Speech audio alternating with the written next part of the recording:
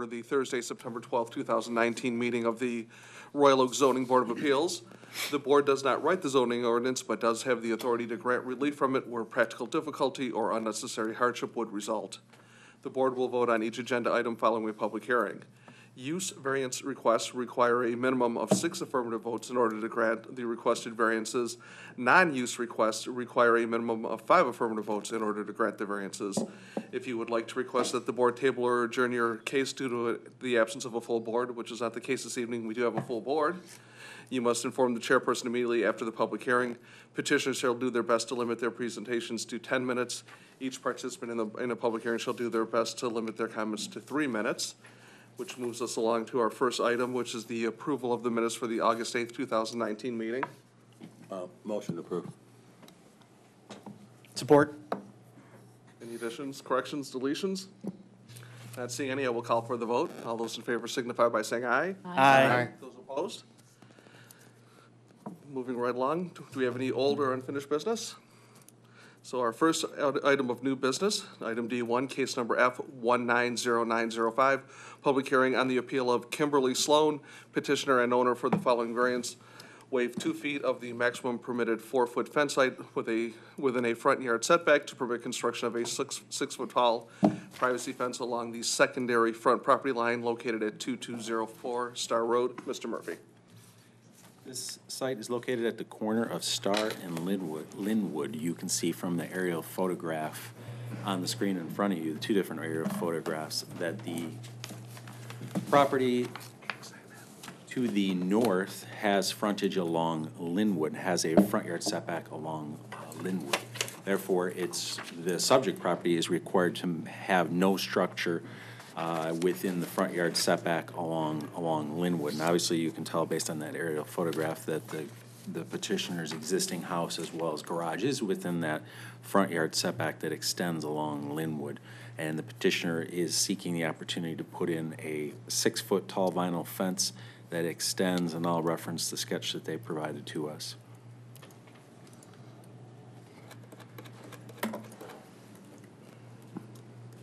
They're looking to install a six-foot vinyl fence that runs from the front of the home, essentially to, all the way to the rear property line adjacent to the neighbor on Linwood. And then the six-foot fence would run along their north property line as well. Again, all of that is within the front yard setback of the house to the north. And the best depiction of that is probably this photograph, which shows the perspective of the petitioner's house and garage from the, from the vantage point of the property owner to the north. Again, they're looking to install a six-foot fence along the shared property line as well as a six-foot fence along the sidewalk along Linwood. Because the zoning ordinance requires that, requires a, a setback equivalent to the front yard of, uh, of the house on Linwood, this petitioner is not allowed to install a fence taller than four feet in the location where they've illustrated they want to install a six-foot fence. So they're seeking a waiver of two feet from that maximum height in order to accomplish installing the six-foot fence. Are there any questions for Mr. Murphy at this point? Right, I see the petitioners are present. Introduce yourselves if you would for the record and tell us what you want to do. I am Kimberley Sloan. I own the property, and I want to put a privacy fence up to protect my dogs and my grandchildren being in my backyard, and that way nobody, my dogs can't see outside and have a fit because somebody's walking down the side of the house. You know, everybody's dog is gonna protect their property and go crazy. Mine are no different. And then having my grandchildren in my backyard and not have to worry about people being able to see or take pictures, whatever. And I just feel it'd be safer and it looked nice. You know, the fence that was there was done back in 63, 64. So I think I'm upgrading and doing something nice for the neighborhood, besides doing something nice for my home to make it look better. I'm Jill Parks, and I'm actually the supplier of the materials. And basically, I know exactly what the purpose of your restriction is, okay?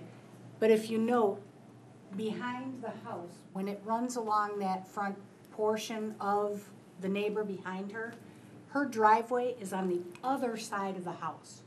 So the six-foot fence will not obstruct her view in any way, shape, or form when she's coming out of her driveway. It has no effect on her. In fact, the garage is so close to the, where the fence line will be, that it's more of an obstruction than the fence would be. Okay, if it were an obstruction at all, which it's not, because her driveway's on the other side of her house. Secondly, what we plan to do is, from that front portion of the house where the six-foot ends, we plan to slope it down to a four-foot, and then again slope it down to a three-foot, so that she can see over the top of it, no problem, at a three-foot height, to be able to see the sidewalk and make sure that any pedestrians would be safe from backing out of her own driveway. But the purpose of doing that along that front portion, there's already a path that people are cutting across the lawn when they're walking across. That's why they had the chain link fence all the way down to the sidewalk to begin with, was because people would constantly cut across the front lawn. Nobody wants that. Okay, it, it's destroying her front lawn, having people cut across it. And having that three-foot-high fence right up to the sidewalk would make that stop. They would have to go around it. And she's had to clean up a lot of mess that other dogs are leaving that the people aren't picking up either. Any questions for the petitioner? Mr. Uh, Just one quick question. The drawings, I see two drawings here and they're a bit confusing. So you'll be three foot high south of the front face of the home? Is that- Correct. Okay, and then you're proposing six feet high to the north.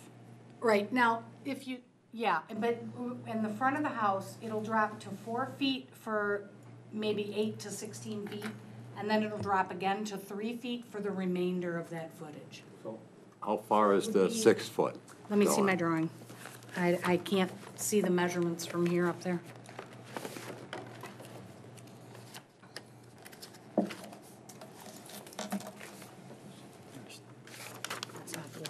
it is.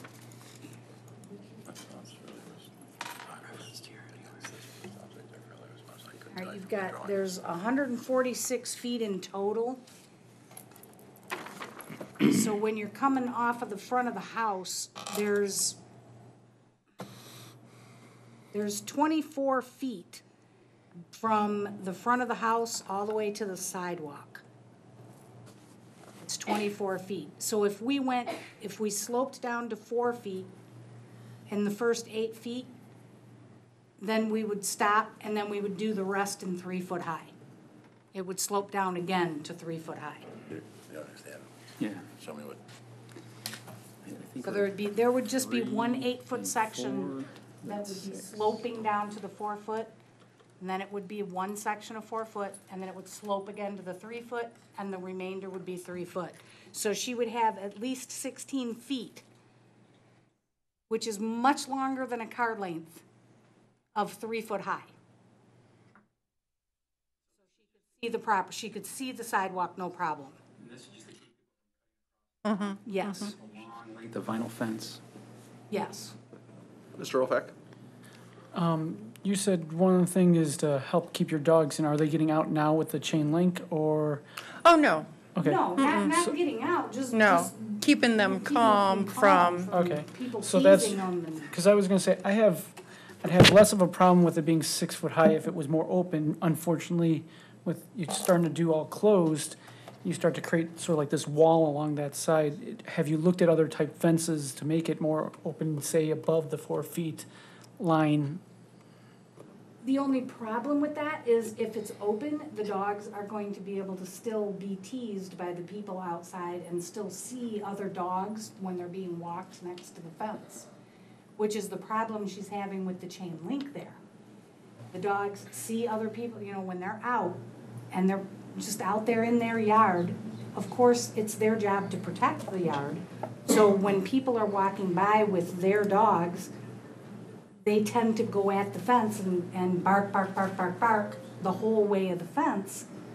If I would say a dog with good eyesight and hear, hearing, is- or good hearing and scent is more than eyesight, but Yeah, but if kids, kids like when they see the dogs out in the, in the yard, they, they take sticks and they rub it on, on the fence to tease the dogs. I Which is don't- not right. I'm not sure that dogs are part of our hardship No. criteria up here, really. Well, the, the grandchildren, when they're out there playing. they are either. that's- That's a huge issue. They're, they're, the grandkids aren't either, because we're granting this to the property, and the, and the dogs and the kids are all gonna move on, and we're gonna have this for a lifetime, so that's the decision we're making up here. Okay, well, she's got a letter uh, from neighbors that would like to see the fence go up. Could you give a copy of that to Mr. Elphak, and he'll pass it around for us to read? And I think I see Ms. Anderson's hand. looking at the aerial schematic, and I could be wrong, uh, Joseph, but it looks like if they ended the six-foot fence at the, if they pulled it further to the south and they ended the garage, they could contain the dogs, and it would be almost in line with the house, the front of the house. Is that, do you know what I'm saying? Well, if you, if you want her to stop the six foot at the back of the house. Mm, and no, at the back of the garage Drop down garage. to four foot and then drop down to three foot at the very front. Yeah, the, the, the back of the house, when, where the, when the dogs come out of the house, what's gonna, they're gonna be still in, the gate is gonna go where the, where the back of the house is right there, you see where that double gate is in the chain link? Well, Can you see that gate up against the house? as Mr. Kroll mentioned, it's not about the dogs, it's about, I it's about a that. fence. I understand that. But when you come down from here just to that point, we could go stop there instead of at the front of the house like was planned. We could stop there with the six foot and then drop to four and three. I'm totally confused now. Oh, Unless we having a slow day or something. From the back of my house on back is the six foot. Thank you. That's all. To the front of the house, so And you have the, the from the back area of my house along all the way to the back of the property would be six foot. Right, so from right here, essentially right here, all the way to here would be the six foot high. And from here forward would be the shorter fence. So what And is if the you want problem with that the to be four-foot picket, you fence? can do that and pick What it is, as well. what is, it's, so your dogs aren't jumping over the fence, now you're having a, a closed fence, it's a Mm-hmm. solid fence versus the, the cyclone fence that you have now, that should alleviate some of your issues. Oh, but I wanted to go six foot to keep it more private in my own backyard. That's, there's other ways to do that, you could do soft, soft shrubs and things like that, you can put arborvitae, you can, But that kind of takes away from the nice vinyl privacy fence. not necessarily, it can enhance it many times. It requires a lot more maintenance than a fence does, and since her husband is no longer alive to do that maintenance, it's kinda hard on her. Cause she's gotta work and then she has to take care of her grandkids. And again, I'm not seeing a hardship, but that's, Mr. Kroll. I, I couldn't help notice the few posts that are in and all the materials in the back of the house. that- Did you try to pull a permit and then they informed you that you couldn't do it this way, or how? Yes, they What's told going me I on? needed to come and do this. Where's the pictures of the houses that you found with fences exactly? Does anybody else have any and questions for the than what petitioners you're at this doing? point? Hang on, we have more information for you. Okay. We have examples of fences that have been allowed to be installed that are even larger than hers. And in the same situations, corner lots. And the addresses of them are at the top.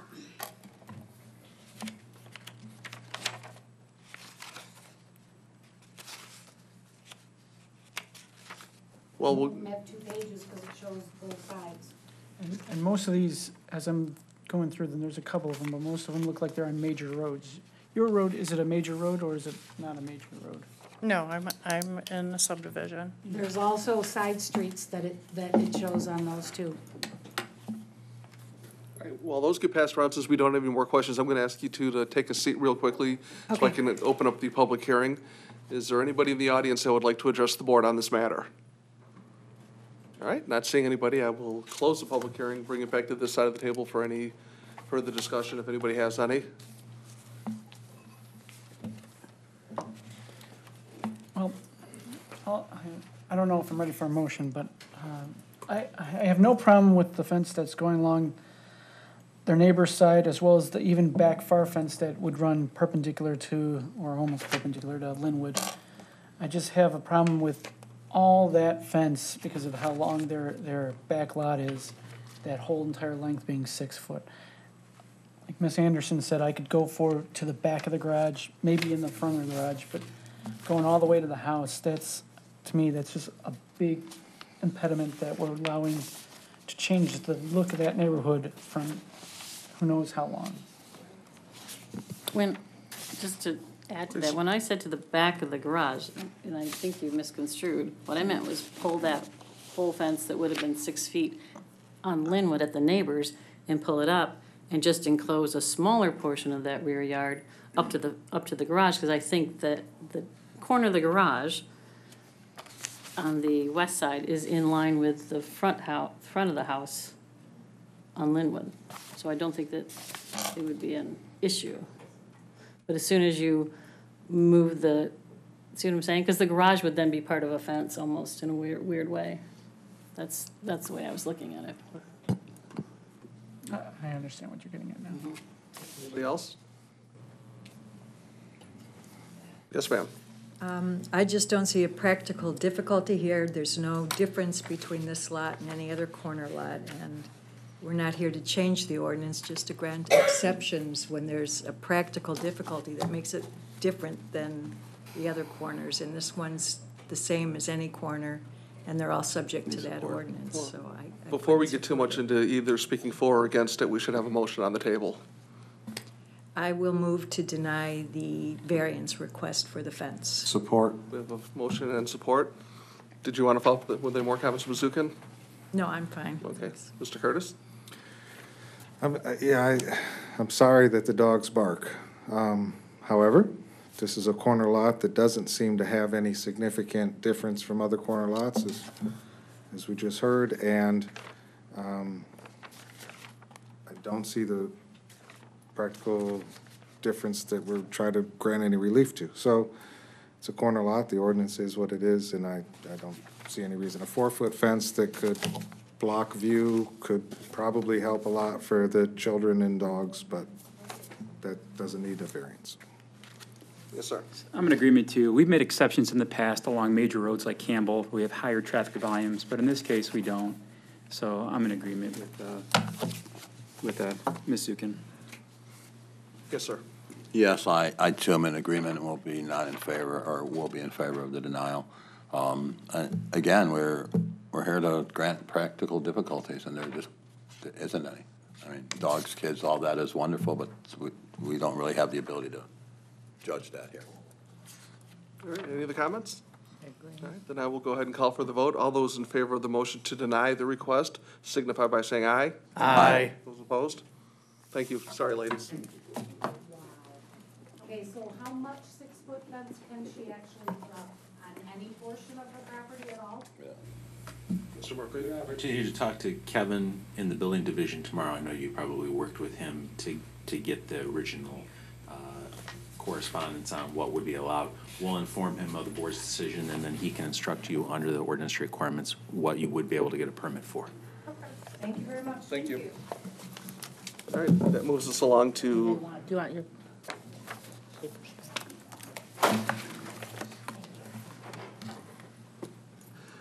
Moving along, item D2, case number 190932, public hearing on the appeal of Parent Avenue Properties LLC petitioner and owner for the following variances.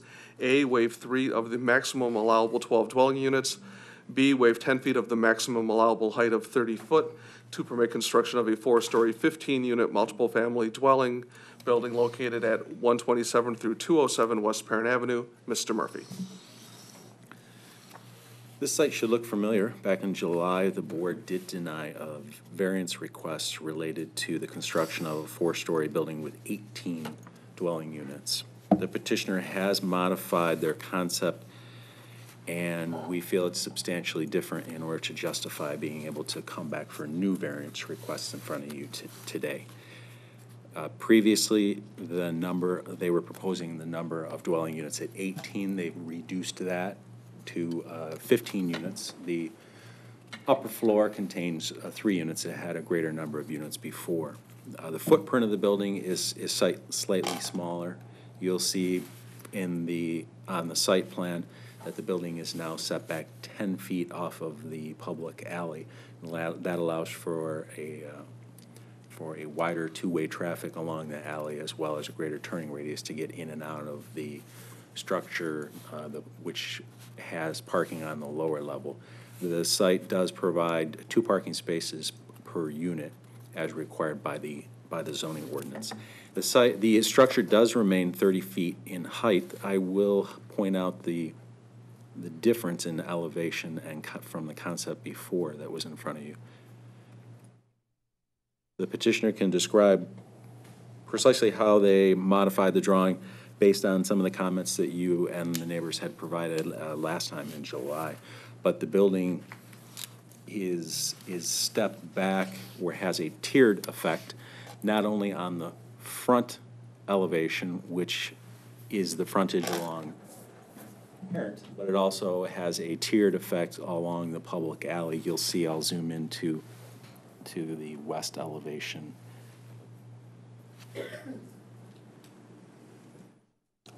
As I had noted, there, there is a public alley behind the structure, and that's, that's noted along with the, the building being set back ten feet off of, uh, of the alley, and then the building starts with the parking on the ground floor, uh, steps up to get to the common terrace area for, for some of the units, and then further is tiered uh, as it gets to forty feet at its, at the third floor. Previously, the building had been closer to the public alley, and the fourth floor along the rear of the structure was not, did not have a tiered effect, it was not stepped back. And the petitioner has modified that. They're still seeking the height variance, however, again, difference in the elevation and the floor plan for that fourth level in comparison to what you saw back in July. So the petitioner here is here today seeking that height variance as well as a variance for three, to waive three of the maximum allowable twelve dwelling units based on the ordinance requirements of, for the lot of its size. And with that, the petitioner is here to describe their efforts, and I do have uh, the video that you had provided, so I can bring that up if you like. All right, Before I call the petitioners up, any questions for Mr. Murphy? All right, not seeing any, please. Good evening. John Marusich, architect for the project. And I'm also here with Jason Prieskorn, the um, developer, along with Susan Lambrick, um, her, the co-developer. Um, As noted by Mr. Murphy, we did take in consideration all of the recommendations. uh, And uh, as I stated in the last meeting, uh, I thought they're all very good. So uh, to restate some of the, uh, the changes that we did make, we did um, increase the alley from 18 feet to 20 feet, and we did increase the setback um, to, from zero to 10 feet. As noted also in the drawings, we plan on improving the total portion of the alley behind the building, so uh, when we have the video, um, we'll run that, we'll see it. Uh, We do believe that um, the setback to the rear and setback to the front will decrease the amount of impact uh, substantially. I think that that will be shown in the renderings and the video. Um, We have, as I said, a part of the original amenity feature of the site was that we do have two parking places for each unit, and we do have totally enclosed parking. So none of the parking will be exposed, which I think is an amenity feature for the, uh, for the neighborhood. You see that we've provided substantial landscaping, which again, I believe is a amenity feature for the neighborhood. We uh, are providing a, um, some uh, bioswale, which was part of the condition of the um, Planning Commission approval. And we are doing a green roof um, as a part of that um, that, that uh, approval. So we feel that we've provided what I, what I think we think is an amenity um, development in the, in the community, and we feel that this particular development will be a um, benchmark for other developments because we think we've actually beat out the look of everything else in town. But that's just our little, you know, side. I mean, it's a competitive market, and we believe that in order to be um, uh, the better mousetrap, we have to provide a better amenity opportunity and features. So with that, um, if, Mr. Murphy, if you could provide some of the video or the renderings, we do have fixed renderings as well.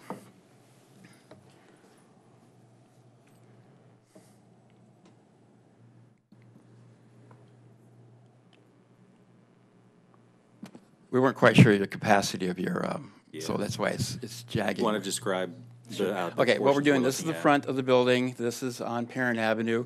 You see the setback, you see a green ridge across the top, and you can see that the impact of the fourth floor is minimal. We had a material change as well, which also minimizes what we feel is the impact of the, of the, uh, of the fourth floor. We have um, precast stone, uh, we have brick, which is a high-quality, again, finished feature. There's no siding whatsoever. To the rear, again, you see we've, we've recessed the building back, uh, the required 10 feet, and we've um, established uh, a 20-foot alley as opposed to the eight- existing 18-foot alley.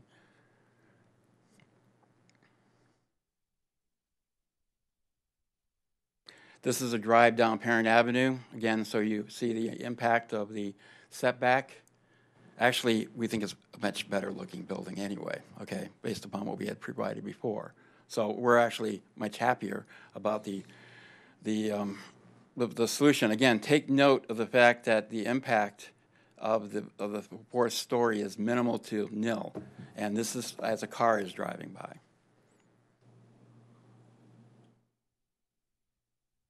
Substantial landscaping, as you um, can see.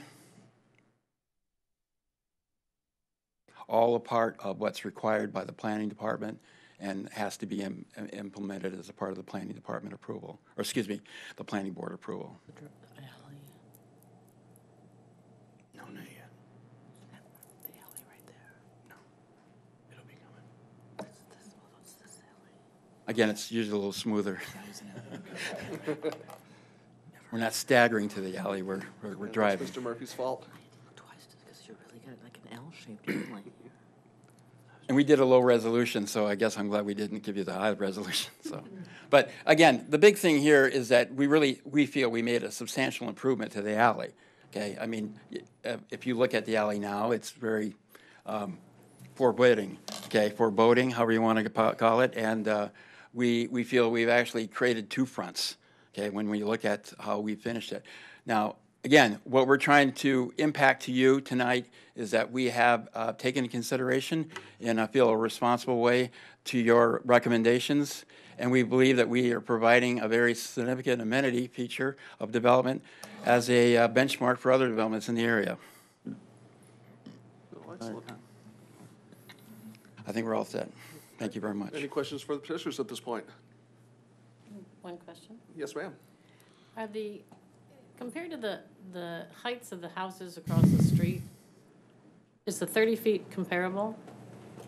Uh, The, because I, are the first three, I guess I'm asking, are three, first three layers, are they comparable? Within the roof line of the other homes in the neighborhood, yes. Right, and then you get the, I- I'm guessing that each floor is 10 feet, is that how? Yes. Okay, so then the top that's uh, stepped back is another 10 feet. And then also, on either side of that is, I know there's one parking lot on one. Is there also another parking lot on the other? I'm trying to Yes, remember. uh, the Presley, uh, site owns the parking lot, and there is, there is a home in that parking lot as well, but it's Okay. mostly parking with just one Only saying, home. because those are the sides that you can see everything, and so that's why I was. Yes, there's a rather large parking lot that, um, the Presley site owns. The Presley site, the- that house on the Presley site is owned by the um, the property owners of the Presley property as well, and it's a rental. And as I stated, we talked with other people, they're, they're, they'll probably be intending to develop that par- parcel at some point in time. Mr. Curtis? Yeah, did I understand you have site approval pending this variant, these two variances being granted? Is that what I understand? Absolutely. We, we had a robust site approval um, from that um, uh, meeting. And, and Ms. Anderson's question was the same question I had. It's the fourth story that needs that variance. Yes. Uh, But I would just say, I thought you did a great job mit- mitigating that impact. It looks great. Thank you very much. Any other questions? Yes, ma'am. So the, the alley behind, it goes east and west, which is behind the building, then it kind of, there's kind of an L shape where then the alley goes north out to Parent, is that, is that, yeah, correct? No, I'm not quite sure. I, I think the alley might end. At- This way towards Main, Yeah. but if you're going west, then you have to turn north to get towards Parent. The See, whole it- thing It is, ends, the, the, the alley behind the building ends at that alley that's adjacent to our proposed development. okay. But so how, uh, so a car to get into this would come off of Parent, turn south down the, the alley, um, and then tu- turn, uh, would that be east again to get into the garage? Am I correct about that? Yes. Okay. See, like, the entries are here and here. So you either have the opportunity to drive this way or the opportunity to drive this way. So On, actually. on Washington? Yeah, then? so actually No, go to the- No, that's That's not the Washington. alley. That's a public alley. I don't know Okay, what that got it. street is to the north or to the south. But you, there's a parent, you have the opportunity to access and egress from parent or access and egress. through- And you took ten feet someplace to make the alley bigger, you say? The requirement for the setback in this area is ten feet. Okay, So we did, in this particular case, implement the ten feet requirement, so that's not a part of our various Variance. variance requirement. But in addition to that, that existing alley is eighteen feet. okay. And so. And That's the one that goes north and south? The one that goes east-west. East-west. Is north, uh, is eighteen feet, and there was brought up concern of the, the- the ability for the traffic to Traffic. negotiate Sir. in and out. Sir, can I ask you to hop back on the microphone? so we can, everybody can hear you better. Sure. Thank you. I'm not loud enough? Yeah. Okay. Um, So, again, to, to restate the answer to your question, the alley is existing now 18 feet. We have now made the alley 20 feet. Again, as I stated, we're going to make complete improvements based upon DPW requirements. We've set the building back 10 feet, which is a requirement for this particular zoning. And we've got two drive entrances, which are 20 feet wide, so that the access, e- egress and access to those areas will have full um, maneuverability, we feel, for the project. All right, Any other questions? All right, Not seeing any, I'm going to ask you gentlemen to take a seat so I can open up the public hearing. Is there anybody in the audience that would like to address the board on this matter? Yes, sir. Hi, Tom Brady. I uh, own Jim Brady's, which is right next door to those guys. Uh, Good evening. Um, My thoughts is that this is a, a- a great step forward. I mean, if, you know, we're talking about the alley. The alley that they're talking about dead ends at my, my garbage dock, which between me and the Main Street, guy- Main Street Right. flooring guys, There's- we've got a, you know, we've got a, a lease with the city where we're able to use that for our businesses. So the, the alley does not go Right to Main. to me. The alley in its current state, has anybody been there recently? Mm-hmm. I mean, that's probably one of the worst walks in Royal Oak, in my opinion. I mean, the, the, the concrete's all torn up, the, the, the landscape's completely overgrown. Um, it, this is a huge, if you're just, I mean, just from the alley standpoint, a major step forward. I mean, that's not an easy alley to traverse right now as it is. I think that this would, it would be a, a major upgrade just, just from an alley standpoint in terms of cars being able to actually travel on that and go back and forth. And, um, you know, I mean, the- these are great guys. I mean, I've, I've met them and, and, and, you know, and I think I was here in the, uh, not in the zoning, I was here when they originally had the, the approval minus the, the zoning board improvements. And, I mean, it, it, it's, you know, when we talk about the neighborhood, in my opinion, the neighborhood is five houses across the street. I mean, what is happening in the city of Royal Oak right now? I mean, if you go across Main Street on Parent, it's these type of developments, all the way down, right? So you've got, you know, you've got a small part of the south end of Main Street, just north of us, which is, which way's it gonna go? Which way's the city gonna go? You know, I mean, if you go to Washington and go across the streets where Chet's Rent-All was, what's that turning into? When you go to Chin's Jewelry, what's happening there? I mean, I think these guys have done an amazing job of listening to what, what the, what the board wants. I think this, this rendition looks incredible. I love the roof setback. I mean, I think it looks, it looks beautiful. Um, and, and I, just one point, and I don't know what the current situation is, but I know my partner, when we originally, uh, bought the property from, uh, Bobby Higgins back in fifteen, the gentleman or the, the group that owns the three homes that he ended up buying, he had approached my partner about buying them, and my partner did a walkthrough in the homes, and they weren't single-family units. I mean, these things were broken up, and there was like six, seven people living in a home. So, I mean, in terms of density, I don't, I mean, I don't know what they are right now, but it's not just like one home, one or two people are living in this house. I mean, there was, he walked through there, he said, I mean, it was, that was cut up into so many bedrooms, I've never seen anything like it. I don't know if that's what it is right now, but in terms of the, you know, the, the, the direction that Royal Oak is going, you know, I mean, how many years ago did they extend the DDA right down Main Street to attract these kind of developments? right? You've got a wonderful development going on, right on six ninety-six now, the Sing development, the Griffin. Obviously, the, the, the developments that were done prior to that, just north of that, I mean, this fits right in, you know, in terms of the direction, in my opinion, as a, as a local business owner, pay taxes, you know, love to be here. Um, I, I think that this is a, from the alley to the, you know, to, to the front, to the, just the way that these guys have approached it. In my opinion, it's, it's a, it's a great addition to Parent, and, uh, I would, I would hope you guys could find your way to grant those variances. Thank you. Thank you, sir. Anybody else? Yes, sir.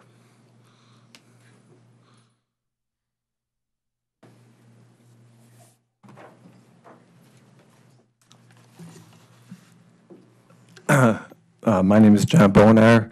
Um, We live at 206 West Kenilworth. Uh, We're the first house uh, right directly behind the new project that's being proposed. And uh, I had written a letter that I submitted to the board. I uh, I submitted it on Tuesday. I don't know if everybody got it. uh, But last page of the packet. but I would just like to uh, reference that letter in my comments concerning this development. My wife and I were present at the July meeting when the initial variances were, were sought. We made our concerns known relating to the density and height variances and also a safety issue concerning the alley access as did members of the board. We see from the new proposal that the alley would be increased to 20 feet and the density reduced from 18 units to 15 units, and that there have been some added setbacks in the structure. Our concerns remain with the proposed density of three additional units and the continuing height of 40 feet. We believe that the petitioner has not presented any proof that adhering to the existing code of a maximum height of 30 feet and a maximum density of 12 units would, and I quote, "result in peculiar or exceptional practical difficulties to, or exceptional undue hardship upon the owner of such property." We don't see any restriction of use of the property or the denial of hardship by denying the requested variances. According to the zoning ordinance, which was stated at the beginning that you didn't write, I didn't write, non-use variances, for non-use variances, the applicant must present evidence to show that if this chapter is applied strictly, practical difficulties will result to the applicant and that all four of the following requirements are met. A, that this chapter's restrictions unreasonably pre- prevent the owner from using the property for a permitted purpose. The owner is not prevented from building a three-story, 30-foot structure with 12 units on the property. That the variance would do substantial justice to the applicant as well as to other property owners in the district, and a lesser relaxation than that requested would not give substantial relief to the owner of the property or be more consistent with justice to other property owners. These variants would not do substantial justice to other property owners. We would be looking at a 40-foot building in our backyard. And we do not see what substantial relief the variance provides to the owner of the property, other than the ability to add an additional story, which is 10 feet, and three units, which constitutes a financial gain for the owner and not a hardship. C, that the plight of the landowner is due to the unique circumstances of the property. There are no unique circumstances of the property that requires an additional 10 feet or three units. And lastly, D, that the alleged hardship has not been created by any person presently having an interest in the property. The alleged hardship that has been created is by the owner in his desire to add the additional height and units for financial reason. Since none of those four requirements we believe have been met, we believe the board has a duty to deny the variances requested. We understand that development is inevitable, but our concern is that the building of these multifamily units, especially in the neighborhoods, be restricted to the parameters that the zoning board has in place for the good of the city and the citizens of Royal Oak. And I thank you for your consideration. And just uh, a couple other, Well, sir, actually, I need you, I've, I've given you an extra minute while you read the letter back to us. Okay. So if you could just wrap up real quickly, I'd appreciate it.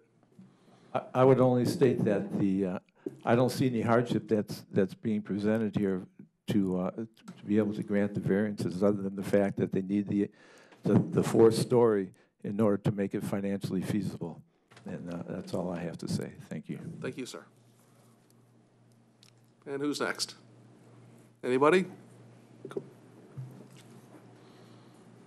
Hello, Yes, sir. my name is Daniel Primo. I live at 122 West Parent, directly across from the project. I've lived there for 58 years, and I won't be supporting this, this project. Um, The 40-foot variance, like the, the man on Kenilworth, he's looking at 40 feet in his backyard, I'm looking at it in the front yard. I mean, we do have the projects, everything's inevitable, but the, the density, right now, we have permit parking on the street, you know, from Diamond Gyms, and we get all sorts of, you know, kickback on that, encroaching in our driveways, and that's inevitable, we can't control it. Um, um, But it's just like, um, now we got the condos on Washington, we got the condos on Main. So now, I mean, the front, there's your privacy, that's gone. East side of the house, backyard, that's gonna be gone when that happens. So I just can't, I just am not supporting this. Um, And one other thing, uh, at your last meeting, there was a couple of statements made about um, the neighborhood being a cesspool for trouble and all this, and that the neighbors don't care. Uh, Those two statements are totally, you know, false and uh, disrespectful. Thank you. Thank you, sir. Anybody else? All right, not seeing anybody, I will close the public hearing and bring it back to this side of the table. And if you want to come back up in case we have any uh, questions for, for for your team.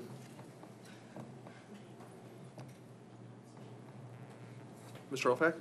I- I did one, because he did bring up all the hardships that you haven't addressed. Do you have anything to address regarding what hardships you have? Because I sort of agree that the, Pretty responding, that's about the performance we did based on twelve units, the house that makes sense. Well, again, I stated this last time, and the gentleman who came up recently stated his case last time as well, some, in a very similar way. So nothing much has changed on that level. Uh, Again, we're trying to do a quality development in the city of Royal Oak. I mean, th- everything I'm going to be saying has nothing to do with uh, hardship, so I'll just state it for the fact is that uh, in order to make this project financially feasible, we have to um, uh, have the uh, additional units, and we've compromised um, with three as opposed to six. So that's our, that's our statement, plain and simple. I mean, we're not going to try to tell you something different. Anybody else? Mr. Clapp? I mean, I I understand the concerns about the height and the density, and last month I was not in agreement either. But I do feel that the applicant made good strides this month, and I commend you on that. You listened to what we said a few months back, and you came back with a plan that does make more sense. You stepped the buildings back, and in all cases, you lessened the impact. So we have reduced number of units, you provided even more parking that's required, we increased the rear yard setback, and we increased the width of the public alley. So, so for that, I will make a more, motion to approve the two variances in front of us. We have a motion? I will uh, second that. And we have a second? Mr. Clay, anything else you want to add? No, that's Mr. it. Kroll? I, I second it as opposed to supported it because I'm really not sure where I'm going with this yet, but I, I, I think it's, uh, we need to get it on the table and, and get some discussion going. Um, I too am, uh, think it's beautiful architecture. I, I appreciate that you listened to us at the, at the July meeting. Um, However, I, I- still have the problem with the hardships because, um, you know, it's, uh, unfortunate there really aren't any. I, I think, um, a couple thoughts. One, I- worry a little bit about the precedent that, that you talked about of finding three houses in a row and, and being able to put up a large structure. Um, What we do here molds, is gonna mold Royal Oak for a long time, I think in both planning and zoning. Um, we have that responsibility. So, um, I, think this is somewhat precedent-setting and I worry about that. On, on the other hand, um, you know, the, the, the national gurus are saying a thousand, fifteen hundred new residents in Royal Oak in the next five years, and we don't have room for one. So I have a feeling we're gonna be seeing more and more of this sort of, um, this sort of offering. On, on a positive side, I think if we're gonna allow this anywhere, um, that district has pretty much already been, uh, this, this isn't the first project, um, in the area, and, and, uh, Mr. Brady mentioned the Griffin, which is going up, and that's gonna have a major impact. So, um, I, guess all in all, as I keep talking, I- I'm, I'm gonna be, a- I'm gonna be in, uh, approval of this.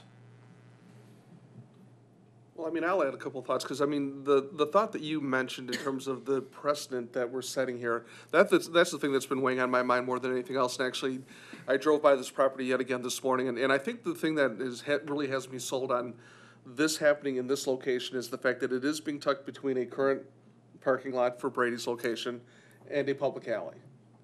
If it wasn't being nestled in such a way that it really wasn't sort of standalone between an alley and a parking lot where you were impacting the middle of other houses and so on and so forth, I think the location could be problematic. I think the fact that you were able to find that location and work it out that way, I think is very uh, positive, so I'll be in support of this motion as well. Mr. Ofac. Ms. Oh, Ms. Anderson, I'm sorry. So my concerns are pretty much what the residents around there have. I think the building is phenomenal looking. I mean, it is beautiful, and, and I commend you on going back to the drawing board, and I commend you for the fact that you came up with a better design than you had the first time. Um, However, the city's given you hundred percent density grant already, but now you still want a little bit more. And that troubles me, because I think if you went back to your drawing board yet again, you might come up with something that we all could live with and the neighbors could live with. And I'm, and I'm really concerned about the density growing and growing and growing, little by little by little. We don't even have a lot of the, the community built up yet, and I think we're gonna run into, in the future, some problems with this density. Those are, those are my concerns, and, um, I guess because of those, I won't be supporting it, even though I think it's a beautiful, stunning project. Hold on, let me, uh, Okay, all right. are there any comments, other comments from the board at this point? Ms. Zukin? Well, I, I do agree with what uh, Ms. Anderson said. I, I love the way you redesigned it. I somewhat doubt that the neighbors in front and back will see the fourth story. But I, I am torn because there's, nobody official has increased the density provisions of the ordinance. And I don't see why we should, because we think the neighborhood's changing. Um, The planning commission, the city commission might eventually go a different direction. I doubt it. But without a hardship, I don't see how we can grant this variance. Yes, ma'am. I agree hundred percent. The building is beautiful. I think this will sell. I think it'll be a, really great thing. But I don't see the hardship, and I think that's where the problem lies, that it's not, there's no hardship here on this. And it's the fact that it says you can have it this big, but not that big. So I can't say that we should say it's okay for this, but not okay for somebody else. You have to have that hardship. Mr. Ofac? Going through the hardships, um, I'm torn because I think there's actually a couple of them that they do have. Uh, one of it is, eh, I agree, it's in a transition right now, that whole area, and eventually planning may change the zoning on that to allow for this. Right, that's what needs to happen. So that in my ways, that's sort of a hardship, but one of their own doing right now because it's, it's not there yet. This would probably be the push to actually change it. Um, I do think their proposal would substantially do justice to the area, make it look a lot better, uh, and not be too overpowering with the setbacks. In fact, I'm very appreciative of the setbacks. I'm very appreciative of the, the sustainability features of the green roofs, uh, and the bioswale in there. Um, Unfortunately, I think this is their own doing, and uh, uh, uh, they could still use this lot. Granted, it might not be financially vi- feasible to them to still get the 12 that, that they have been granted. So I'm, I'm sort of torn because in my eyes, they're sort of 50-50 in the hardships in my eye. I think the only comment I would make to sort of follow up on that is, I don't know if anybody watched the meeting when they approved this project. The, the mayor and the mayor pro tem are both very, uh, much on board with this project, you know, two elected officials who drive policy in the city. So I always sort of look to, you know, what are our leaders doing? And when the mayor's on board and the mayor pro tem is on board with the project, that always carries a little bit of weight with me. Yeah, I find, I'd add that I found your discussion very persuasive, the idea that it's not just any three houses in a row.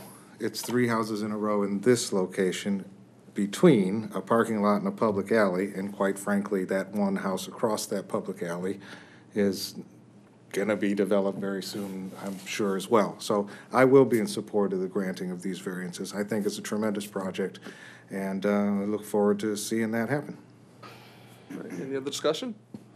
Then I will go ahead and call for the vote. All those in favor of the motion to approve signify by saying aye. Aye. Those opposed? No, no. Can I have a show of hands for the noes, just so Mr. Murphy could can track them? Oh, good. Mr. Hart's tracking them? Oh. Motion carries. Motion carries. Thank you very much. Thank you very Much. Thank you. Looking forward to seeing it. Thank you. Yeah, it's gonna be gorgeous. All right. Moving right along, item D three, case number one nine zero nine three three. Public hearing on the appeal of Mike Daubenmire, uh, Fortune Wireless petitioner and AT&T owner for the following variances. A, waive one hundred and ninety-three point nine feet of the minimum required two hundred fifty foot setback from a public right-of-way, that being East Fourth Street. And B, waive thirty feet of the minimum required two hundred fifty foot setback from a residential zone district to permit construction of a two hundred and fifty foot wireless communication support structure within an off-street parking lot located at four twenty-one South William. Mr. Murphy. This site occupies essentially a whole city block, and it's uh, most closely right around the corner from here, at the northeast corner of Williams and Fifth. Has a four-story building on the site and two surface parking lots. The petitioner is proposing to erect a 250-foot tall wireless communications support structure, or uh, cell tower, as most commonly known as, in the parking lot on the north side of the property. And the support structure would be situated within a 40 by 50 enclosed, enclosed area with an associated generator and uh, equipment cabinets.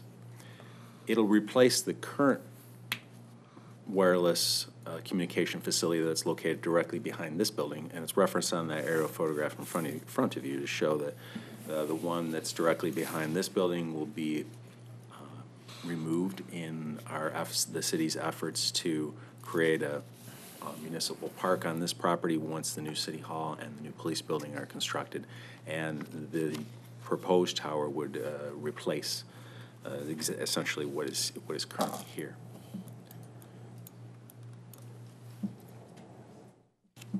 The tower does measure 250 feet in height, and you can see the design on the elevation on the screen in, in front of you.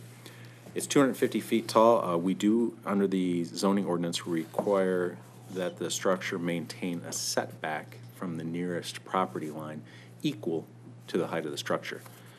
And I'm going to reference a particular page in the petitioner's extensive report to the board to illustrate where it's located on the property and where that nearest public right-of-way is. The, uh, based on its proposed location, it's about 56 feet from, from the closest public right-of-way or East Fourth Street, so they're seeking a variance, again, from that setback distance equal to the height. Uh, We based it on that closest distance because that is the closest public right-of-way, so that's how we had structured the variance request. You'll see on the aerial photograph the distance from, uh, from the uh, other four adjacent public right-of-ways along Troy, Williams, and Sixth. The zoning ordinance does require that any structure also be the equal distance from any adjacent one-family residential area. And the petitioner did an excellent job on this particular aerial photograph to show that at the nearest point to, from the structure itself to a property zone one-family residential is 220 square feet. And it's referencing what is a- essentially a gravel parking area behind the VFW hall, south of the VFW hall. That, that property, although it's not used as a, a single-family home, it's actually zoned one-family residential, so that's the closest property that's zoned one-family residential. The closest one-family residential zoning district with a single-family home on it is also illustrated, and that is at two hundred and eighty-four feet, which is certainly in excess of the height of the structure at two hundred and fifty, uh, two hundred and fifty feet in height. The planning, two days ago, the planning commission did did grant special land use approval. They did, however, postpone or table the site plan. They had quite an extensive conversation amongst themselves and with the petitioner about the uh, screening options and essentially design of the screening of the site itself as well as the, at the base of the proposed tower to screen the cabinet equipment as well as the generator. So the planning commission did grant special land use approval. Under the zoning ordinance requirements, the petitioner must first receive special land use approval in order to seek a variance request. They were given that special land use approval, so they're here today. However, they are going back next month to the planning commission to have some refinement to the site plan in terms of, again, screening. Uh, Not necessarily the placement of the tower on the site, but the screening of the site at the perimeter of the site, potentially, as well as at the base of the proposed tower. That, I can answer any questions, and I think that the petitioner can provide a lot of clarification on the relationship as well. The fact that it is a privately owned tower, yet it will have essentially a lease with the county for their emergency management system. And again, it's replacing a tower that already exists right behind this building. I saw Mr. Clatt, and Mr. Elphak. Uh, Mr. Murphy, can you just clarify the setback requirement? I assume it's for fall protection of the fall radius, but can you clarify the requirement for the setback? Yes, the tower needs to be set back from any adjacent single-family property, uh, one-family residential zoning district, so containing mostly single-family homes, or e- equal to its height.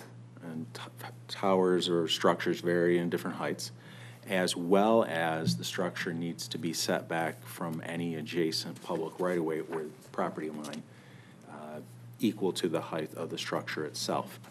So that is a typically a historic standard, yes, related to, uh, related to a, a pure drop um, on a, on a right angle.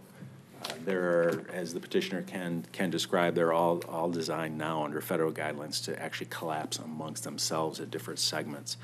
Uh, The petitioner did describe and provided a graphic to the planning commission that illustrates that a tower of this design, if it's designed to collapse amongst itself, it actually collapses within a twenty-foot radius of its base in, in, in circumstances. So it's not going to, it's designed structurally not so that it just timber and it falls over all at once like a tree that you cut at the bottom.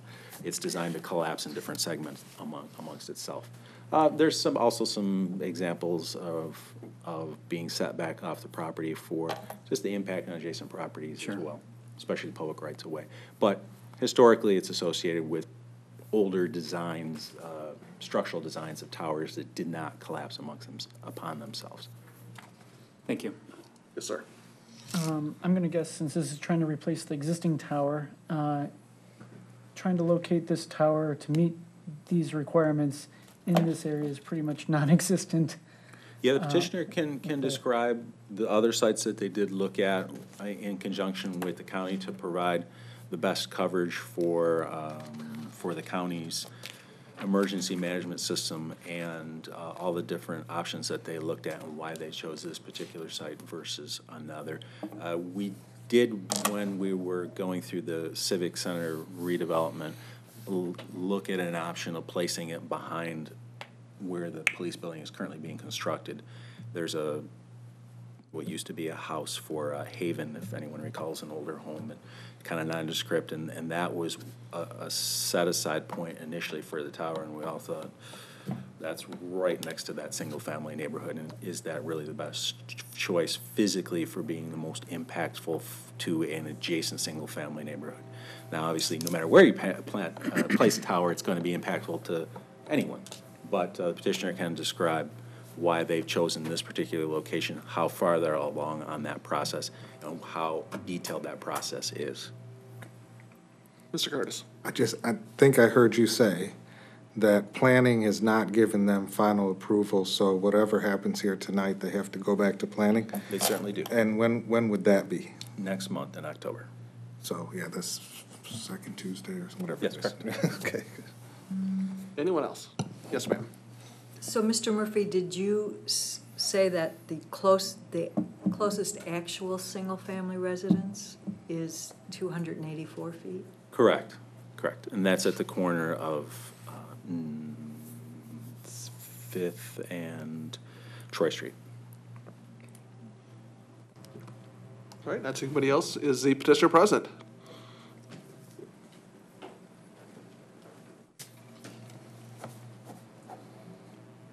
Good evening. Uh, My name is Mike Daubenmire. I'm here on behalf of at and T. We also have Patricia Coates, and she's with the county. Um, Just to reiterate what uh, Mr. Murphy has discussed, this is actually property owned by at and T. Uh, at and T will construct the tower uh, not only for their own use, but the county, uh, which also operates the emergency communications for the city as well, along with, I believe, a couple other communities which Patricia can get into if needed. Um, Also, in this general area, because the tower comes down, uh, not only for the county, but for at and T, we have to find a new site somewhere within this general area to get our coverage that our customers have enjoyed and to have the county's emergency communications uh, continue on. Um, And really, as said on, by this board, there's nowhere we can go. We're, co- we're seeking a variance, no matter what, uh, with the setbacks within this general area. Um, I do have a letter from a structural engineer. It was discussed a little bit, which basically says the tower will be designed with that twenty-foot radius. And what, what that is, is essentially will buckle at certain points if it were to fail. Um, and when I say if it were to fail, in the unlikely event that it will fail. Uh, it's very uncommon. Um, hurricanes, tornadoes, they can't even take these down. Uh, they are designed structurally, very capable of handling the worst of the worst. Uh, but again, in the unlikely event that it does fail, it will collapse within a 20-foot radius, and that is essentially an at and ts parking lot. So it won't have an impact on any of the neighboring properties or the right-of-ways. I do have that letter here, and directly behind the letter is an aerial view with the radius um, identified on the map, so you guys have a visual of what that radius is. Um, And then I go ahead and let Patricia take over. She can kind of describe why we need that 250-foot tower, uh, because at and T's only gonna be at 150. The county, city, they need the 250. That's why we're building the 250. And take it away. Thank you. Thank you all. I'm Patricia Coates. I'm Oakland County's 911 and Communications Coordinator with an association called CLEMIS under the county's IT department. That stands for Court and Law Enforcement Management Information Systems. It is a consortium of all the public safety agencies in Oakland County, police, fire, and public EMS. And they came to the county back in 1999 and said, you know, we all have separate radio systems. I'm on UHF, my neighbor's on VHF, somebody else is on 800 megahertz. We can't talk to each other. Plus, we have the expense of maintaining all these individual systems. So they asked the county to develop a county-wide public safety communication system for all of police, fire, and public EMS. We did that.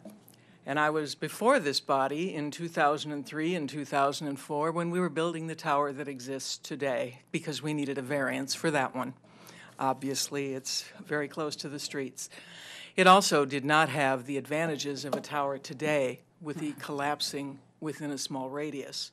So actually, the new tower will be much safer for the community. Um, What we did back then was the county offered every municipality ownership of the tower if we built it on municipal land. Royal Oak took advantage of that. The county deeded over the tower to Royal Oak. They have enjoyed having at and T lease and pay rent on it to them for 15 years. And now it's time, obviously, to move it. So at and T, our public safety partner, has agreed to build a tower taller than what weight, what they need, because it's what public safety needs. Your police, fire, and EMS in this city have enjoyed exceptional coverage in the downtown area because the tower's in the downtown area. Coverage on a public safety radio system is really, it's a lot of factors, but three primary ones: location, height, and power of the transmitter and the receive antennas. Because we're so close to Canada and there's an international treaty, we can't do anything about power. The Federal Communications Commission limits us on power. All we can control is location and height. So AT&T doesn't need the 250 feet. Royal Oak Police and Fire do. So that you can continue to enjoy in-building coverage with small, less powered portable radios. So that when you have a police officer in a house on a domestic, or you have a EMS in a, in a high-rise trying to talk to the hospital from the side of a patient, or you have firemen inside a building trying to fight a fire, those portables work while they're inside the building. Out-of-door coverage is very easy to achieve. But to have in-building coverage, the site needs to be in downtown, and it needs to be at 250 feet. So we are fortunate that at and t has agreed to do that. The county will now reverse. Instead of at and t paying lease, lease uh, fees, the county will be paying lease fees, and Royal Oak will not have any expense for that. So we will be paying that for your public safety. Obviously, the tower, because it is a large consortium, also helps coverage in some of your adjacent cities, such as Ferndale, Hazel Park, and Madison Heights, which is important for interoperability. If we have a chase or we have a lot of fire departments coming together, everybody needs to be able to talk, which was the whole point of the system in the first place. So because A&T has found the land and is willing to build the tower, your public safety will continue to enjoy the coverage they have today. Yes, ma'am. So at and T is footing the bill, correct? Will the county have exclusivity of everything above 150 feet? Meaning, I guess I'm wondering, you know, if it gets to the point where all of a sudden ATT wants to start putting all the chink, chink, chink, all, you know how people put the different, I don't know what they're called, discs up there. I don't know if whatever. you're building it for additional co-locators or not. I'm not sure what the lease says, unfortunately, I didn't work for it, or work on the lease, um, but AT&T will be at one fifty. The county will be at the top of the tower. If we can structurally handle additional antennas for other carriers such as Verizon or T-Mobile, and they are interested in co-locating on the tower, uh, we would certainly entertain that. Um, wireless coverage is essential now to all communities. Over fifty percent of Americans don't have home phones. Uh, when people are buying homes now, it's just as important to see, do their cell phones work? So a downtown wireless service, not only for AT&T, but other carriers, is extremely important. Um, whether or not they actually come on and co-locate, I can't tell you that. Uh, but I can say if they did, I would probably be certain that AT&T would allow them to do it. They would, of course, have to go through zoning. I'm sure there's something in the city zoning code that uh, monitors co-locations and things like that. Um, but it would limit, it would limit the number of towers. One tower could be large enough for everybody. Well, that's why I wasn't sure, so I wanted to ask you that, because I didn't know if maybe at some point, the county, since you're only leasing it, would be pushed out, No. and No. then you'd have to find someplace else, and They, you they you have a don't get. lease, they have a lease, and that, that's gonna be for Perpetuity. There you go. I mean, so as long as they need it in that space, it's theirs. We cannot come in and kick them out. I'm sure all of the fine print has been worked out with people that make way more money than us. And The attorneys have taken care of that. Um, keep in mind, the current tower does have space on it for another co-locator such as Verizon or T-Mobile, and in fifteen years, no one else except AT&T has asked to be on that tower. That's not to say it couldn't happen. I'll add that under federal regulations, local municipalities across the entire country, if they meet certain co-location standards, for instance, this particular tower, if other providers wanted to have their discs, as you say. Yeah, there, I don't know what the discs. Uh, and they meet, and they meet co-location definition requirements, which means there's an existing structure and they're simply adding, uh, to it. Uh, they're not building another separate structure, where all local municipalities across the entire country have to approve their paperwork to do so within a very short time frame. There's extraordinarily stringent federal regulations. I saw Ms. Zukin first, then Mr. Curtis. Um, do either of you know, is the current tower two hundred and fifty feet? It is. I, I heard, I think, Ms. Coates, you said it needs to be in the downtown area. Correct. Can you help me understand what you mean by the downtown area in that sentence? Um, radio propagation also depends on the density of the buildings. It is very easy to get buil- bi- coverage into a, a stick-built residential home as opposed to the type of buildings you have downtown. So it's important that it be here because this is where your most dense buildings are. I do have a, a map that will show you what it would look like if there was no tower here, if that would be helpful. Actually, my question was, you use the word it needs to be here. Yes. My question is, what do you mean when you use the word here? Where is here that Here it needs to be? Downtown Royal Oak. um, Okay, but- but with I the- understand with- we have a are- big We are downtown. about a block from the existing tower, Uh-huh. which means the coverage will r- relatively remain unchanged. So if it were a block or two within the existing tower, Right, then you're happy with that? I am. Because it's like a block from our main street in our Yes. downtown. So a block in another direction Right. might not be a problem for No, coverage. the, the important thing is that it's where the large buildings are. Because that's what you need to penetrate with the radio signal. Any other questions? All right, not seeing any, I'm going to ask you folks to take a seat so I can open up the public hearing. Is there anybody in the audience that would like to address the board on this matter? Mr. Rasor? Thank you, Chairman Esprit, uh, ladies and gentlemen, thank you so much for serving the community on our zoning board. Uh, It's really appreciated. I did it for four years. I thought it was really enriching. Because I am the landowner, uh, my address 201 East Fourth, Rasor Law. Um, I'd like a little bit of latitude on time. I am the closest landowner. What to say about this, except it cannot happen. This is an enormous structure, a block and a half away from the middle of your downtown. I want to tell you how big it is. The pad is 40 by 50, meaning that the pad would not fit in the room this way. And the structure is at least 30 by 30, meaning that the legs of those thing, of that thing, are wider than from this wall to that wall. And it goes up over 18 stories high it's taller than the fifth. And the proposal from a private landowner is that it go on their land in prime downtown real estate in the central business district, a district which has a purpose which is completely contrary to enormous utility poles. If Rasor Law came to you and said, we want to put this in our parking lot because we want to collect rent, I would hope that you would all throw your laptops at me, because it would never happen. The only fact that makes this under consideration whatsoever is because it has a municipal use. And we're all concerned about the police. I love Corey. I love our men and women in uniform. Um, and the fact is, is this can be located in a place for the municipality that doesn't require a zoning variance because the city owns an eight by eight block area, which will allow a two hundred and fifty foot radius for this tower at the new civic center. And so you won't need a variance. And I don't think, and Mr. Murphy, I appreciate, part of this is you don't want a big tower crashing down. Part of this is, is you don't want a person fifty feet away from this, looking and seeing it all the way there. It's about scale. When you look at this and it's two hundred and fifty feet away, it doesn't appear so monstrous. When you're on top of this, forty feet away on the sidewalk, right here, this thing is enormous. Just to give you some sense of scale, my building is sixty by sixty on the first floor.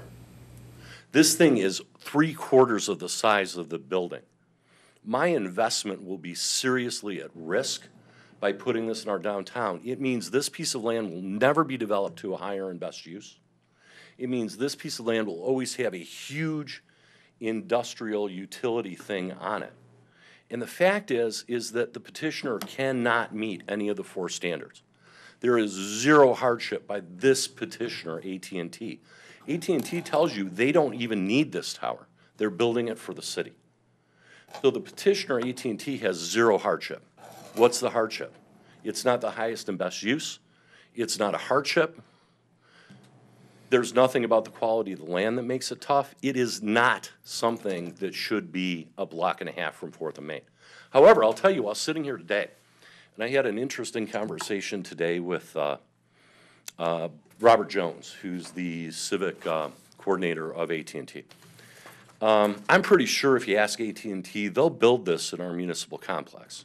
They don't really care. They want to have control over it. We'd have to negotiate a lease with them.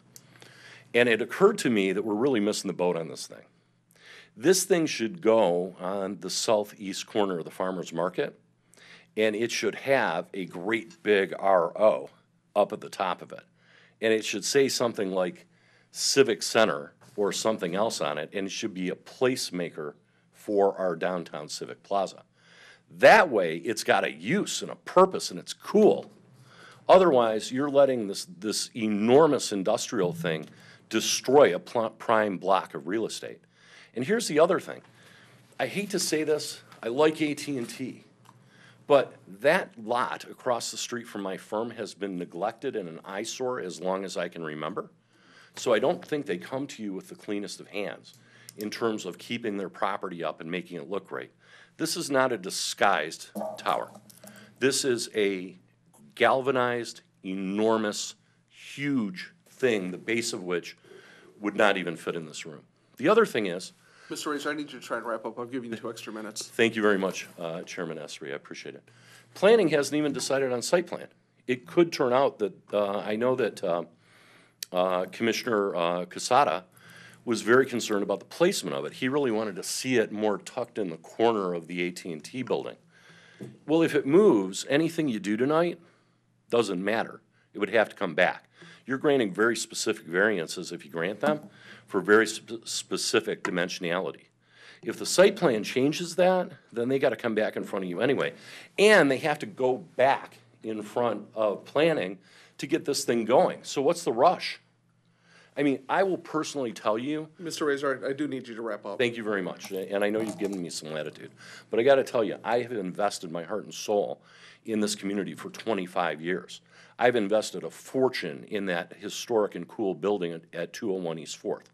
This thing will tank my property values and everybody else's property values for four blocks. When I was a zoning board member, there were a couple of decisions I regretted making.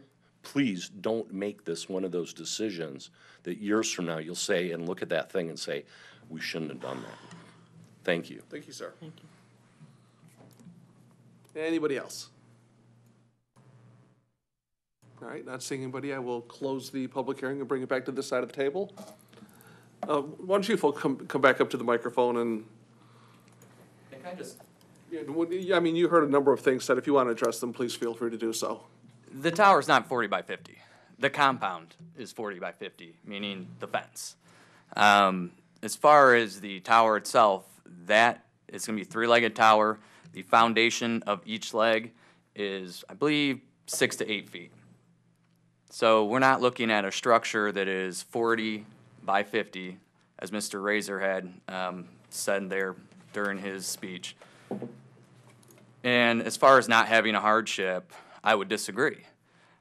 AT&T is losing their site in which they have exceptional LTE indoor coverage to this community for a number of years because the tower is coming down. And according to the FCC, when we have a license, we have to fulfill that license. If we don't fulfill that license by providing exceptional coverage uh, to a certain standard, they lose that license, they lose that frequency. So anywhere we go in this general area, which is where we need to be along with the county, we're gonna need a variance. Uh, the police chief was here Tuesday, he had said it's not, they can't do it at a number of different locations, and I do apologize, I cannot uh, reiterate what those are. Um, but he did stress that this is really the, the best option, uh, for them, so it's also the best option for us. It works for all parties involved, there's nowhere on this property we can go to meet the setbacks. Um, the property, the way the setback is, we cannot enjoy the use of that property. It is a permitted use with a special use approval, which we have received. Um, And as far as property values, uh, being detrimental to property values, I've seen no evidence of that or presented outside of Mr. Rasor's ward. In fact, I would say that having good communications, not only cell phone, but emergency communications, is an exceptional benefit to the community and raises property values. Uh, There are studies done, in fact, I wish I had the article. Um, There's a couple of them I saw a real estate website where they say that when people come in, look at homes, they no longer are asking school districts, how's the schools, things like that. The number one they're doing, thing they're doing is they are walking around from room to room and checking to see if their cell phones work. And that's a unbiased third party, has nothing to do with cell phone use. It's a real estate company that writes this. It, it's happening. And emergency communications is essential.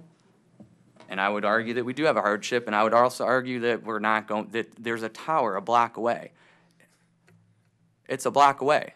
Have property values diminished since that tower's been up? I'm curious. It's a block away. We're replacing a tower. I don't see how this is gonna impact the properties when the tower here hasn't.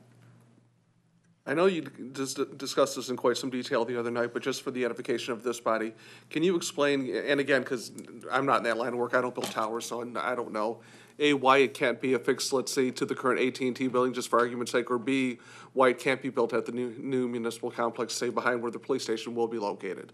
As, from what my, from what I remember, uh, the police chief saying is that the space behind the, the new police station, uh, it would essentially eliminate most of their parking. That was my understanding of what he was saying, um, during his statements. Not only that, there was a number of homes very close. So you're gonna have a n- larger impact on residential structures, homes, things like that than you would here. And then, and then the roof part also, please. Um, we're at hundred fifty feet, that roof's seventy feet. If we absolutely had to, perhaps, but that doesn't help us. We're at hundred fifty feet now, or hundred sixty feet, we're gonna lose service. If we drop down to seventy feet. Um, so much so that it's so important to AT&T that we're willing to s- split the bill and spend it, all the money. We're, we're willing to go back, we're looking at our site plan. We've already been in discussions on what we're gonna do, um, and we'll be providing what we feel the planning commission is gonna feel comfortable with as far as beautifying that, that parking lot area for the community. Mr. Curtis? Yeah, do you know how big the base is? Not how big individual stanchions are, not, not individual foot, Well, there's footings, only- but how big is the base of this structure? So you'll have three separate legs, and each foundation is, and I believe, and I'm, six to eight feet is- Right. is generally. But the general area that that covers up, how much? I would say sixty-four square feet, maybe, and, and that's, that's, that's a guess, because you have to think too, you're gonna have AT&T's equipment in there, and this is a forty by fifty foot compound. The county's gonna have equipment in there, and then there's gonna be sufficient space for additional carriers down the road, if it ever got to that point, so it's not completely taking up forty by fifty, the tower itself. No, no, I understand that. But I also heard you say that it was your understanding that the police chief's concern about was losing most of their parking or uh, whatever your phrase was. Correct. So those two thoughts are hard for me to reconcile. It's either not very big in terms of its footprint, or it's big enough to take away most of the parking. It can't be both. If He- A, then He's not, saying not A. forty by fifty. I- If I'm sorry, a- I hadn't finished my sentence. Sorry, sir. Yeah, thank you. If A, then not, not A. It's called a excluded middle in logic, right? So I'm trying to understand from you, who represents the petitioner, how big is this thing? You said it's sixty-four square feet, so eight by eight? You know, honestly, I, I don't feel comfortable giving you a straight answer because I eight- don't know the exact amount, but what I will say, Wouldn't take up a lot of the police chief's parking. That's why I'm If trying to you- get a, a feel of that. if you look at a comparable compound size, Mhm. okay, so if, say, the police chief, they decide, or were able to put a compound with that tower that would be able to accommodate their equipment and AT, AT&T's equipment, I was told whatever that size is, is chewing up their parking. One of the planning commission members was actually the one to make that statement, I believe. Um, for AT&T, it is not. Uh, what I'm saying is, he was saying the structure, he made it seem like the structure itself was forty by fifty. That is not Oh, the okay. case. No, And I that is got the you. Mm. only thing I'm, I'm arguing. Okay, yeah, thank you. We actually, and before I get to, you, there's actually a rendering in there, if you keep, Which one are you looking at? That's the one I'm looking at. I'm at. not sure which page I'm at, but it actually shows you the setback from the existing building to the center of where the tower would be located. If you just sort of extrapolate that setback and sort of Yeah. flip it sideways to the Yeah. size of the tower, you get a pretty good feel for how big that triangular base will be. Ms. Yeah. Anderson? So you, you're familiar with the one, if we all took a walk downstairs and looked at the one on the side of this building, is it just like that one? I believe that, and correct me if I'm wrong, you may know better than me. I don't, I don't think it's got, it has the three legs on, on that, the one here, correct? No. This, the one we put up, it does have three sides. It was called a tripole, but it doesn't angle the way this tower does. It, it's straight down, which is also why if it were to fall, it doesn't fold in on itself. Mm-hmm. So this is the design you would want in an area like this. The one we put in is, is a smaller footprint. We also had a lot less land to work mm, with mm, there. Mm, as you'll, if you've been out there, the county shelter with our equipment is on the bottom. at and T had to put theirs on top of ours because there wasn't room for a second shelter. Hmm.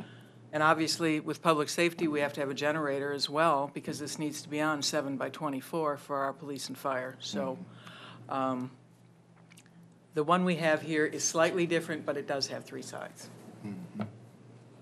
Yes, sir. Um, I was just wondering, because I know you have to go back to the planning commission, is there any likelihood that the location of the tower will move, which No. would then? okay. Um, actually, looking at the photos when I got back uh, to the office, there are two doors on that part of the building, um, along with drainage, and that it would also there's another entranceway from one of the other streets. So if you move the tower in the corner there, you're blocking doors to the building. You're take having to take up drainage, and then you're also blocking what appeared to be another entrance exit for the property.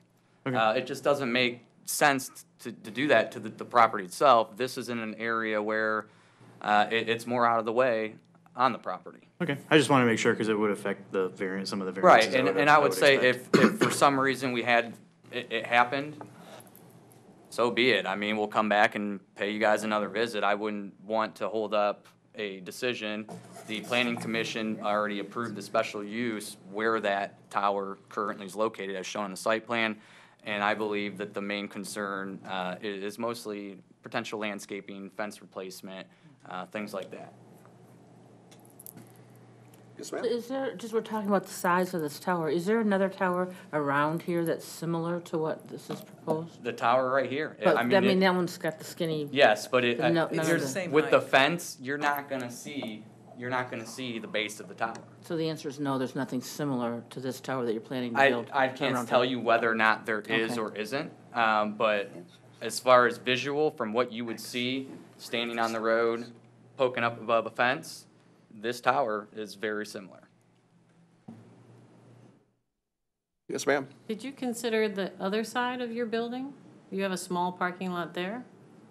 Uh, I, I can't answer that, ma'am, I was not involved, uh, up until, On the, I guess. We decide to file for the zoning. Backside, um, on, I think It- it's on Troy Street.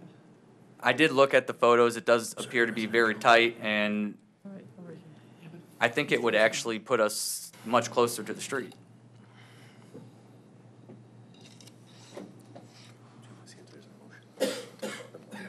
There's like a parking lot across from it, so that's why I was wondering. Sort of on the other side of Troy. Well, is anybody prepared to offer a motion at this point? I I have a question for, Sure. for staff on procedure. Yeah, so this has to go back to planning, whatever we do tonight for final. Uh, We have a meeting scheduled two days after that meeting. Are we able to motion a tabling of this to see uh, what happens in the next few weeks? Because they're not going to start working on this tomorrow because they don't have final approval. Correct.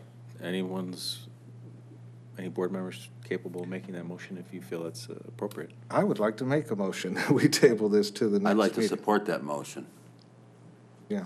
All right, we have a motion, we have a second. Uh, Before you go into your points, I just want to ask these folks, what kind of hardship does that create for you if we make you come back next month after you get final site plan approval from Personally, I said, let's push this meeting back till October, because I had a feeling this would happen. So it, it's not gonna impact us, it's two days later. We would obviously prefer to have a decision one way or another, uh, tonight. It's always the preference, but anytime a board recommends we push it back, rule of thumb is allow it. The county also has no particular rush as long as that tower stays up. Yeah. It was our understanding that the city wanted that down as soon as possible. And we do have some FCC licensing, et cetera, we have to do to move equipment from that tower to the new one once it's constructed. But there is no rush on the But the county's forty-eight part. hours from the next plan commission meeting to our next Correct. meeting isn't gonna. No. Mr. Curtis? Yeah, well, that, my thought is, uh, one, of course, we need a proper tower in our downtown area for public safety. And thank you for the county for consolidating all that, some, sounded like twenty years ago. That was a good move. I'm happy that happened. And I certainly want to see uh, the best possible public safety for our city and our county and our neighbors, neighboring counties. Um, But since it's not gonna go, you know, nobody's putting a shovel in the ground tomorrow, uh, this is really a forty-eight hours, you know, wait, because it's gonna wait twenty-eight days, why not wait thirty days?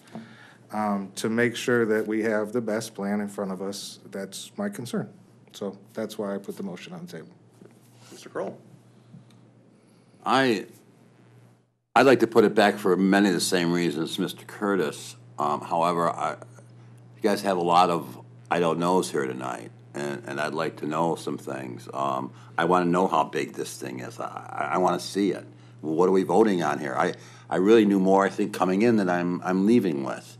And um, it seems like you ought to be able to tell us how big this thing is. I, I think Mr. Rasor's has realistic concerns. His building is, has a huge investment sitting across the street from it. So I haven't got any- idea what this thing's gonna look like. And, and I couldn't possibly vote yes if in fact, and, and I too think there's a better location, or, or at least uh, I'd like to see more locations talked about. But come back after planning, um, please give us a little more description of what this thing looks like. I, I, I don't think there's anybody, anywhere that's an argument that the city, the police, the fire need this tower. Um, then it becomes, where, where do we put it? You know, what's, what's the best place to put it? So that's what I would hope you guys would come back with. And I will mention that, um, back in two thousand, whenever it was, a long time ago, I was on the board then, and we've got to ask them, well, why can't you put it here? Why can't you put it here? And, and back then, they had all the reasoning, and, and I haven't really heard, you know, when we ask you, well, what about? Why couldn't you put it over in, in a different area, except for the fact you need it around the buildings? But we're getting more and more buildings all the time, so I don't think that's a big problem right there, right And now. I was on that board as well, and as I recall, it came very close to failing, to not passing. And It passed because of a safety issue, and that's probably the same, probably the realistic reason we should pass it again. Yes. And we're, we're, I don't think as a board, we want to be in the way of this, but just want it to make sense. Mr. Curtis? Nor do I want to say anything other than thank you for AT&T footing this bill. I didn't mean to be too hostile towards that. Uh, But at the same time, the two days to make sure we know what we're talking about doesn't feel like too much. I would feel more comfortable. And a lot of these points were actually discussed on Tuesday night. Unfortunately, the chief wasn't able to make it this evening. But maybe staff can put a bug in his ear, then he can be here next month to address some of those concerns. We'll let him know. I will, if the, if the motion on the table does pass, I'll just remind everyone that the- it's a postponed or tabled case. The public hearing was held and Right. opened and closed, and public comment was solicited, so there will not be notice uh, again. No, no Because notice, it's correct. just a postponed or tabled item. And no additional fees to the petition. Correct. Yes. All right, if there are no other comments, I will call for a vote to table this item until next month. All those in favor signify by saying aye. Aye. Those opposed? See you in thirty days. Thank you. Thank you.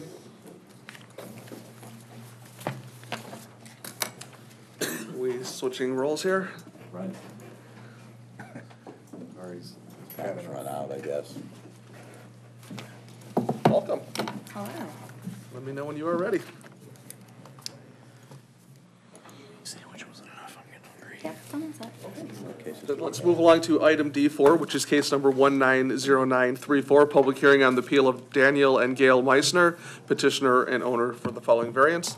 Waive the requirement that off-street parking be located in the side or rear yard to permit permit construction of a driveway parking pad within the front yard of a single-family dwelling located at one one six South Laurel. Okay, so the variance request before you, um, as stated, is for one sixteen South Laurel. Uh, the property is located on the west side of South Laurel, just south of West Eleven Mile Road. Um, it is located in a section of, um, properties that were platted at a width of thirty feet that does not conform to our one-family residential, um, standards. Um, there, well, I don't think we have uh, an overview, but I could go to it if you would like. Um, so the property contains a single-family dwelling um, with just um, about five and a half feet of a north side yard here, which um, is not wide enough for the you know eight-foot driveway that we would require. Uh, so the petitioners um, are proposing to locate a uh, 12 by 20 feet uh, concrete driveway or parking pad um, in front of their home. Uh, and per the zoning ordinance, off-street parking for one and two family dwellings must be located in the side or rear yard. Um, but due to um, the the site constraints, they are requesting a variance um, to this requirement. So it um, yeah, so that's the request before you. Let me see if I can get to the survey here, just to display it for the audience. Um, These are site photos that um, staff took, so um, you can see the home here. Scrolling down, this is actually a parking area for a neighboring, um, I think chiropractic uh, business. So here's the image. Um, the lot is 30 feet wide, as I stated. Um, it's, it has more depth than required by the, the zoning ordinance for the zone district, so it's 120 feet deep, but, um, you know, even so, there's, just don't have that width to, to get a driveway by the side, so, um, the applicant also did supply, um, some photos of similar, um, parking areas located in front of um, homes in the neighborhood. Um, Staff couldn't confirm the legality of these. I didn't, you know, I, I didn't look up every, every example, but at least on their block, I couldn't find, um, you know, explicit zoning approvals for these parking pads. So um, just the fact that they exist doesn't necessarily mean that they were granted variances, but for context, um, the applicant did submit these photos, and so they are part of your packet this evening. Do you have any uh, questions for me?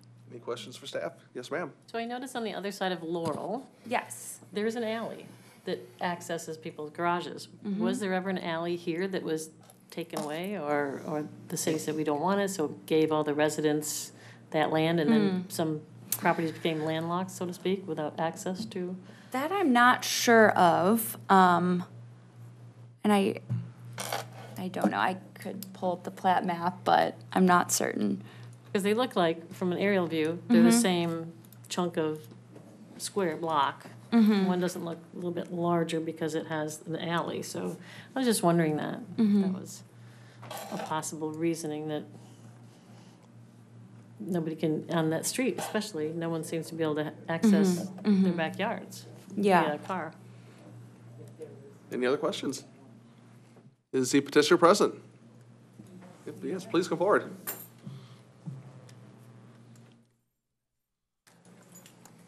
Good evening. Hello, I'm Gail Meissner, and Um, her husband, Dan.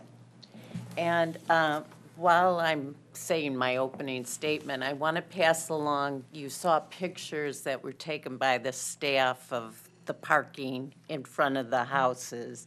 And I think this is more representative of um, the parking situation that we deal on a daily basis, you can see. But um, as Julianne had said, uh, that the home is located on a 30-foot wide lot with a commercial business to our north that has a six-foot concrete wall adjacent to our property.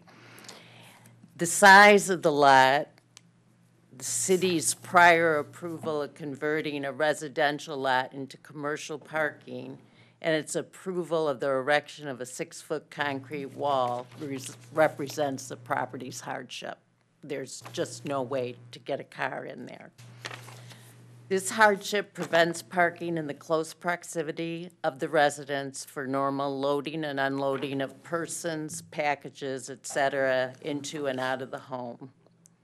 By approving this request, I think it would, we both believe it would bring the residents more in line as it showed all the other parking pads that were on all the properties adjacent to us.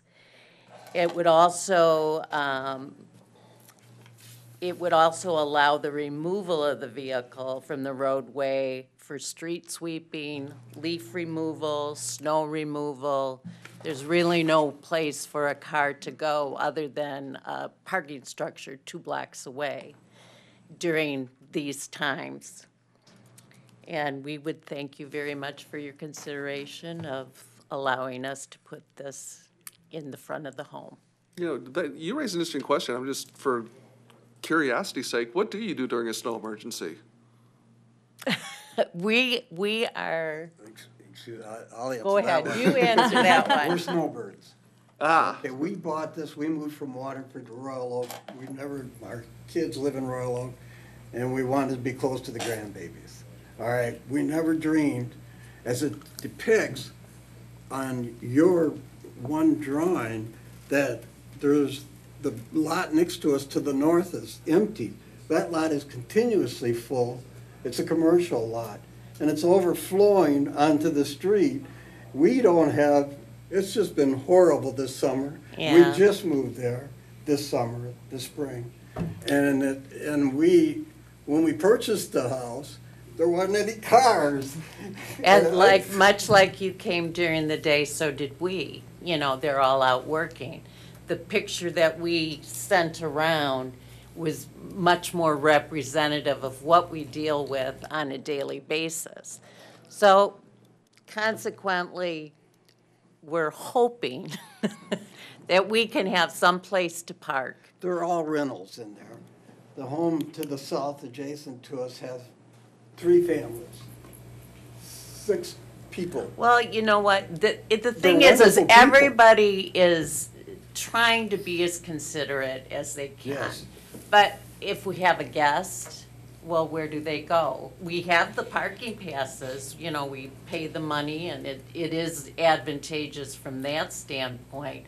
But where do they go with their parking passes? You know, down at the end of the block or over onto Second Street? You know, or, no, that's Third Street there, you know, down there. But that's pretty full because you have all the apartment complexes. So we're kind of in a unique situation where on some other blocks, you could park on both sides of the road. You can't park across the street. They're totally, but they, most of them have driveways. They don't always utilize them. They also park on the street with their parking passes. But we're, we're kind of in a unique situation within, the- we're very close to the city and it's nice being close to the city. I love it. And, but it, it really curtails on the use of the property as a residence. Did I see any other hands? Ms. Well, I have a Anderson, quick yes, ma'am. question, and so, being snowbirds, are you decided, I see your home is for sale. Is this Yes. because you have no place to park, or is it because you're Yes. actually going to? Yes, yes, it's, and it will take a thirty thousand dollar loss if we sell it for what it's listed for, true story.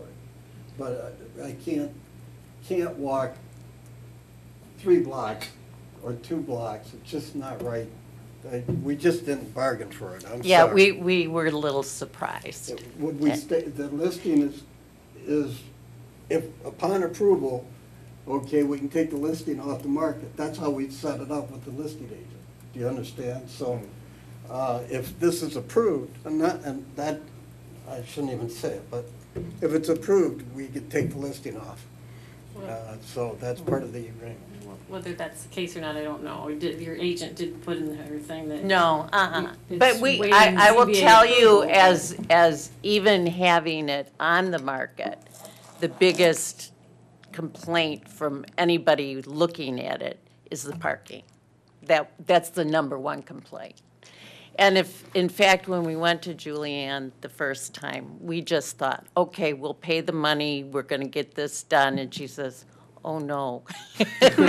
You cannot do that. You have to come here. And we said, oh. And that's when she started looking, and she could not see immediately that anyone pulled a mm-hmm. permit along the street, but we're trying to do it right. We're trying to use our home. It's a nice home. We're trying to just use it and enjoy it, and being, and it is city life. You have to understand, we are in the city, so we are part of that. Any other questions? That's our question, that's our case. I have a quick one. So if we grant the approval, you're going to be putting in this parking pad? Yes. To Not this either spring. sell it or Excuse me, to no, keep it? Not, not this fall, absolutely not this fall. But because- I'm just asking if you're gonna be doing it, because the house is so darn cute. Thank you. That I think you'll do a great job And I to will. keep it looking that way. And I will. Thank you. Anybody else? All right, I'm gonna ask you folks to take a seat real quickly so I can open up the public hearing. Is there anybody in the audience that would like to address the board on this matter? Not seeing anybody, I will close the public hearing, and I saw Mr. Kroll and Mr. Klatt. Um, I'd like to make a motion to approve this. I'll support. Motion support, Mr. Kroll? You know, the, not having anywhere to park your car is, now that we're not all riding horses to work and everything, is, seems like a hardship to me. Um, I, there's nowhere to go. So either start knocking houses down or let these people have a place to park their car, is the way I view it. Mr. Klatt? Yeah, I think we have clear practical difficulty here. I don't think we ever like to see fifty percent of the front yard covered in concrete, but there is good distance from the home to the sidewalks. You're not gonna block the sidewalk with cars from a safety standpoint, so I support. Yes, sir. I'll also support, this is definitely practical hardship that they can't help it. Their lot is uh, totally landlocked, and if you, they don't want concrete, they can do permeable pavers and have, There have that. So, I, I, I think allowing them at least a parking spot i- i- is, uh, uh, least we can do to alleviate their hardship they have. Be reasonable, I think. All right. Yes, ma'am. And I will agree, it makes it much easier for the city to plow those streets. That and Maple, and it is a nightmare sometimes when you can't get your car off the street. And it turns into rut city and it's horrible. Any other? All right, then I will call for the vote, but first, we're holding you to your word, you better stay in Royal Oak. All those in favor of the motion signify by saying aye. Aye. Those opposed, you're all set. Thank you so much. Motion passes. Thank you. All right, item D five, case number one nine zero nine three five, public hearing on the appeal of James Coslow, petitioner and owner for the following variances. A, alter and expand a non-conforming structure. B, waive ten feet of the minimum required thirty-five yard rear yard setback. And C, waive two point five percent or one hundred forty-nine point two square feet of the maximum allowable lot coverage of thirty percent to permit, permit construction of a rear addition to a single-family home located at two thirty-seven Edmund Avenue. Commissioner Hart. Okay, so this um, property is located on Edmund Street between um, Main and Rochester. So it's located on the north side. It's improved with a um, single-story, single-family dwelling. Let me just go to a different photo here. Um, so the the property um, currently maintains a um, non-conforming rear yard setback. So the, the requirement for a single-family home is uh, 35 feet from living space to the um, rear property line. This home actually has a um, sunroom on the northwest corner of their home that has a 25-foot uh, rear yard setback. So The applicant is proposing an addition that would mirror that um, setback established by the sunroom, um, which would be a, um, you know, non-conforming um, 25 feet. And so the applicant is requesting a, a waiver of 10 feet to the um, minimum required 35 feet. Additionally, um, the existing home um, is non-conforming as regards coverage. So uh, the requirement for a property of over 6,000 square feet is that uh, the total lot coverage be no greater than 30%. Currently, the coverage with um, the existing home, which has an attached garage, um, is at uh, I think it's thirty-one point six percent of the lot area. And so the addition of about hundred and fifty square feet is, would, would bring that total lot coverage to thirty-four percent. So the next variance, um, is a request to, um, expand the nonconformity and to waive an additional two point five percent or hundred and forty-nine point two square feet of the maximum allowable thirty percent lot coverage. And then the third variance tied in here is just um, a variance to alter or expand a non-conforming structure. It's non-conforming as um, it has the non-conforming rear setback as well as um, the non-conforming lot coverage. Um, Do you have other questions for Any me? questions for staff at this point? Yes, sir. I do. Um, I was trying to figure out the lot size on this. And I Yes. got confused. Okay, so. Good. The reason we have a plat map here, um, well, uh, uh, okay. So the lot is platted at sixty feet wide by hundred and ten feet deep, except there is a small portion, um, in the northwest, northeast corner that's, um, cut out. Um, but if you go to the legal description of the property, it's the west 55, 55 feet of that platted lot. Um, so the, how this came to us is that they had submitted for building permits and then building division flagged it. And so that's why the plan you see, um, is a partial plot plan and not a full plot plan. However, based upon doing the research and finding the plat map as well as referring to the legal property description, we know that the property is, um, fifty-five feet wide and, um, hundred and ten feet deep.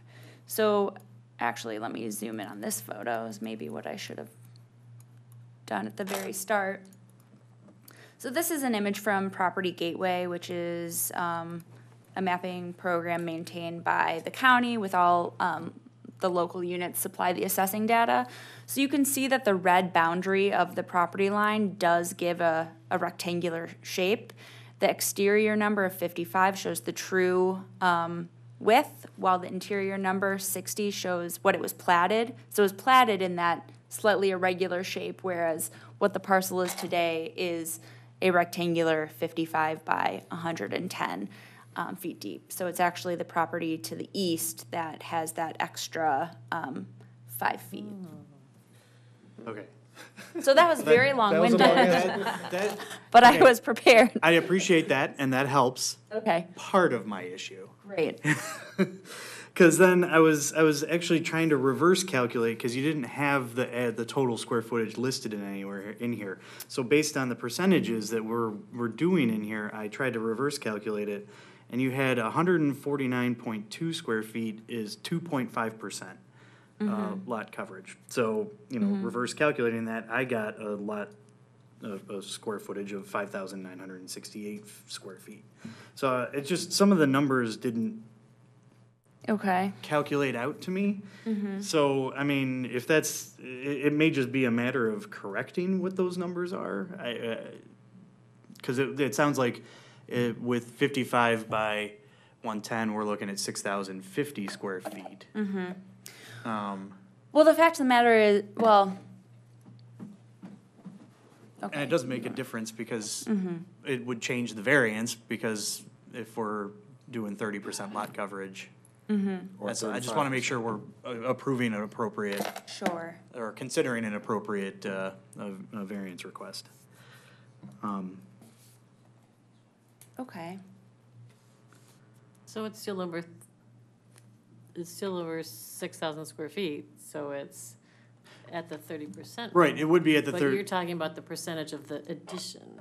Right, the percentage of the addition might be different than Than- what is presented in here. Mm-hmm. Because if we're, if we're looking at, you know, thirty, thirty percent of one thousand eight hundred, or thirty percent of, uh, the six thousand fifty is one hundred and eight, one thousand eight hundred and fifteen. But then, uh, you know, two point five percent is, if we're needing an extra hundred and forty-nine point two, that would be, uh, one forty-nine point two, oops, divided by six zero five zero. Uh, I guess you could round it to two point five, two point four six. Oh, Okay, I was wrong. I was being a little too legalistic oh, there, I'm okay. sorry. no, so that's we're fine. I just was like, We're okay. I used We're good? Excel. No, it's fine. Okay, so being generous is okay, because if it is only two Yep. point four six, that's less. That's my So, bad. Okay. Thank Are we you. okay? Sorry for- sorry for Nope, putting you that's on the okay. spot. That's okay. Mr. Curtis, did I see your hand? No. Your hand. No. Oh, Okay. Well, then I'm going to call the petitioners up. Now We've made a mess of this thing. All by ourselves, too. We're good at that. Thanks. Um, James Coslow, 237 Edmund. Um, And, uh, the- I mean, I think she explained what we're looking to do. Uh, We are trying, the addition is to expand the master bedroom um, and add a walk-in closet. Um, Just a, a pretty basic addition. We're going to keep it, um, the exterior will be the same as the existing house. We'll use the reclaimed brick um, with a a roof that'll be symmetrical, but a mirror image of what's on the front of the garage. Um, The uh, current bedroom is ten by twelve, just a little pokey Royal Oak bedroom. So we're gonna push that out and basically just extend it. um, And then add a walk-in closet. We're not gonna do any plumbing work or anything. Um, Not doing any uh, foundation work in the basement, just a basic foundation underneath it. Um, eh, Fairly straightforward. We happen to have a small lot which is unfortunate. Um, when we bought the house, we didn't realize the thirty-five foot, we saw the sunroom, so we assumed that, that that was the limit. And, uh, then when we pulled the permit, that's when we found out that we needed the variance, so that's why we're here before you. Any questions for the petitioner? Mr. Opak? I don't have necessarily any problem with expanding nonconformity or the thirty-five foot. My heartburn is a little bit with more the, it already being over the thirty percent. How, if I'm correct, your house is already a four-bedroom house, right? Uh, no, it was listed as a three-bedroom house, but one of them is actually, connects through to the sunroom, so it's really more of a den or a home office. It's a Okay. three, listed as a three-bedroom house. Okay, so it's not, okay, the one thing I saw said four, Uh, there is a, uh, a, a bedroom downstairs, but it's not, you know, there's no egress window or anything, so it's just a finished basement. So, and, and trust me, I have a smaller bedroom than yours for master, ten by I know. eleven.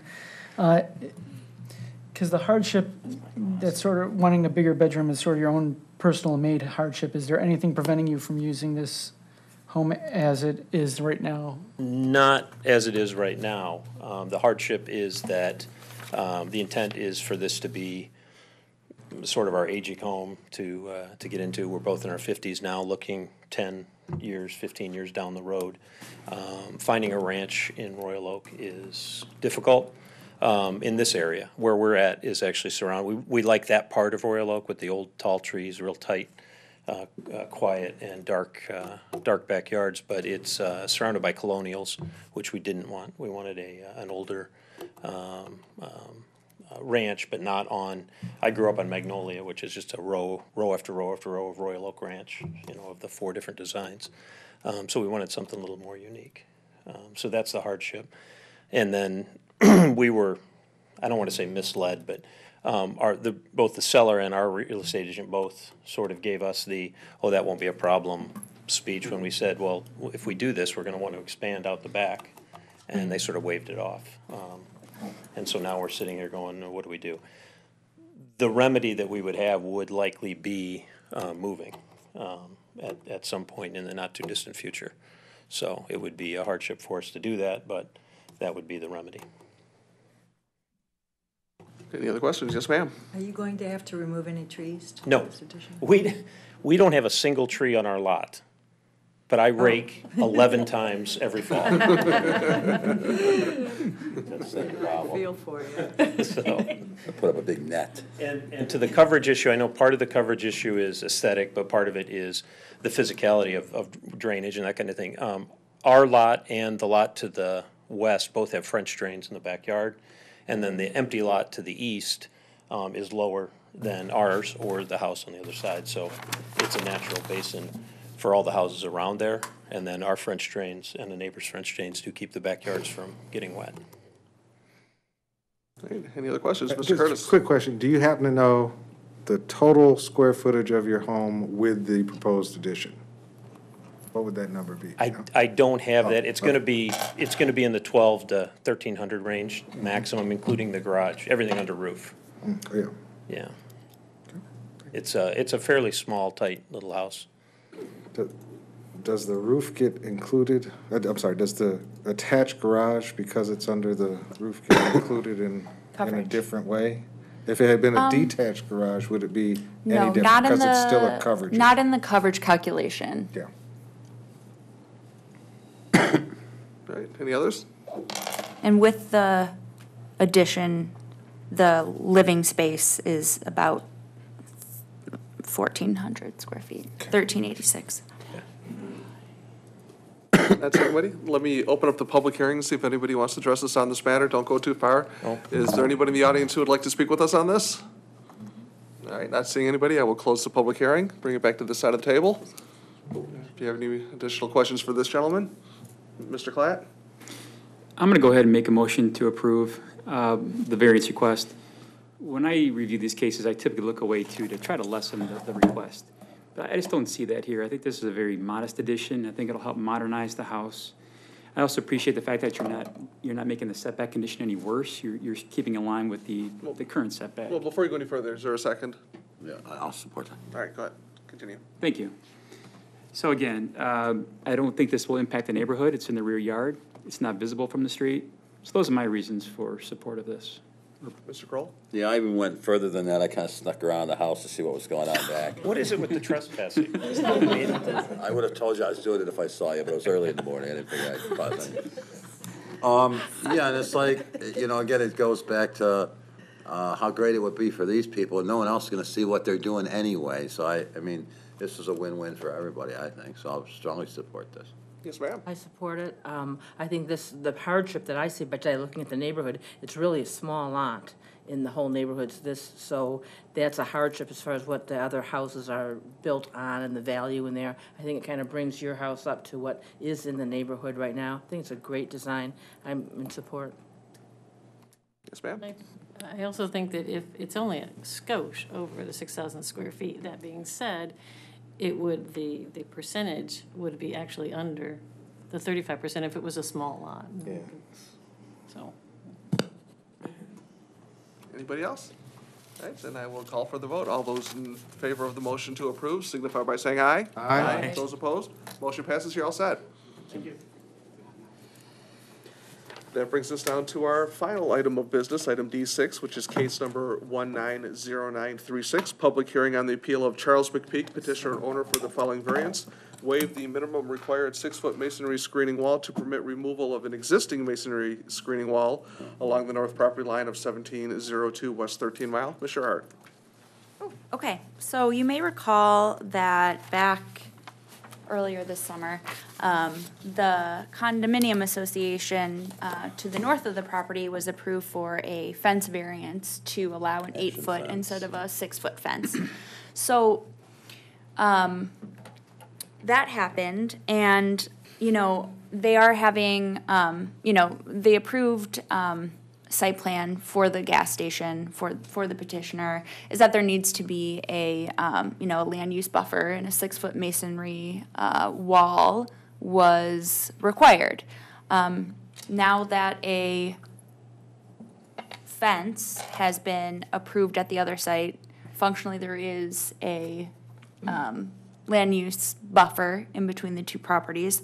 However, the fact remains that if we're looking just at this parcel, um, you know, the variance is to not have the, the six-foot masonry screening wall when it is required. So that essentially is the variance request.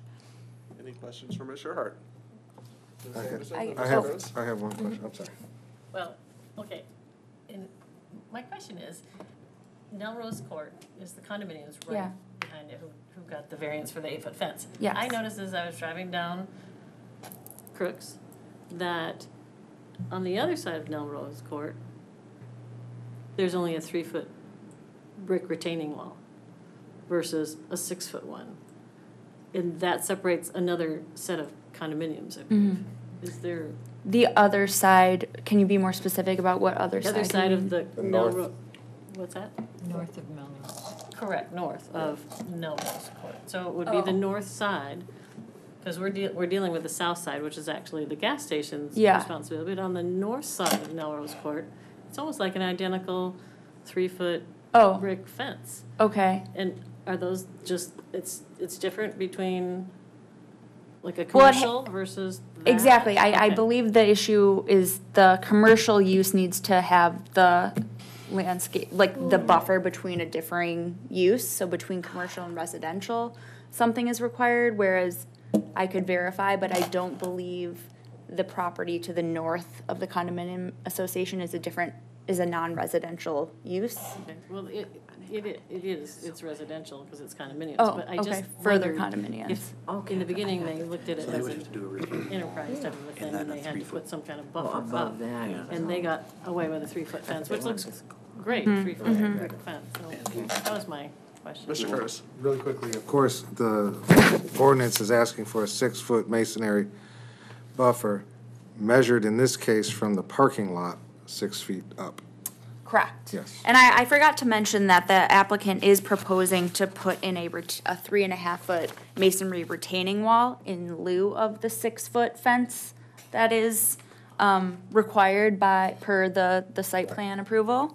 Um, so it's not the absence of anything, it's just a different, um, wall that they are proposing. Well, hold on, So we- if we can, we- we have a batting order here. If, if we grant this variance, they don't have to put up any screening wall, but they still would have to keep a three-foot Retaining. retaining wall? That I'm not sure of. Mr. Murphy? Mr. Murphy. Mr. Murphy knows everything. When the filling station received original site plan approval in the, and they're here, they can confirm it, the exact year. uh, s- I think it was in the early 1960s. The adjacent property to the north was a single-family home and nearby school site. And so there was a, we'll say, a hard transition from a commercial use uh, ga- filling station to single-family residential. They were required to have that six-foot brick screening wall. Uh, The house and the school site were purchased and now are different uses, and we have the adjacent condominium multifamily development.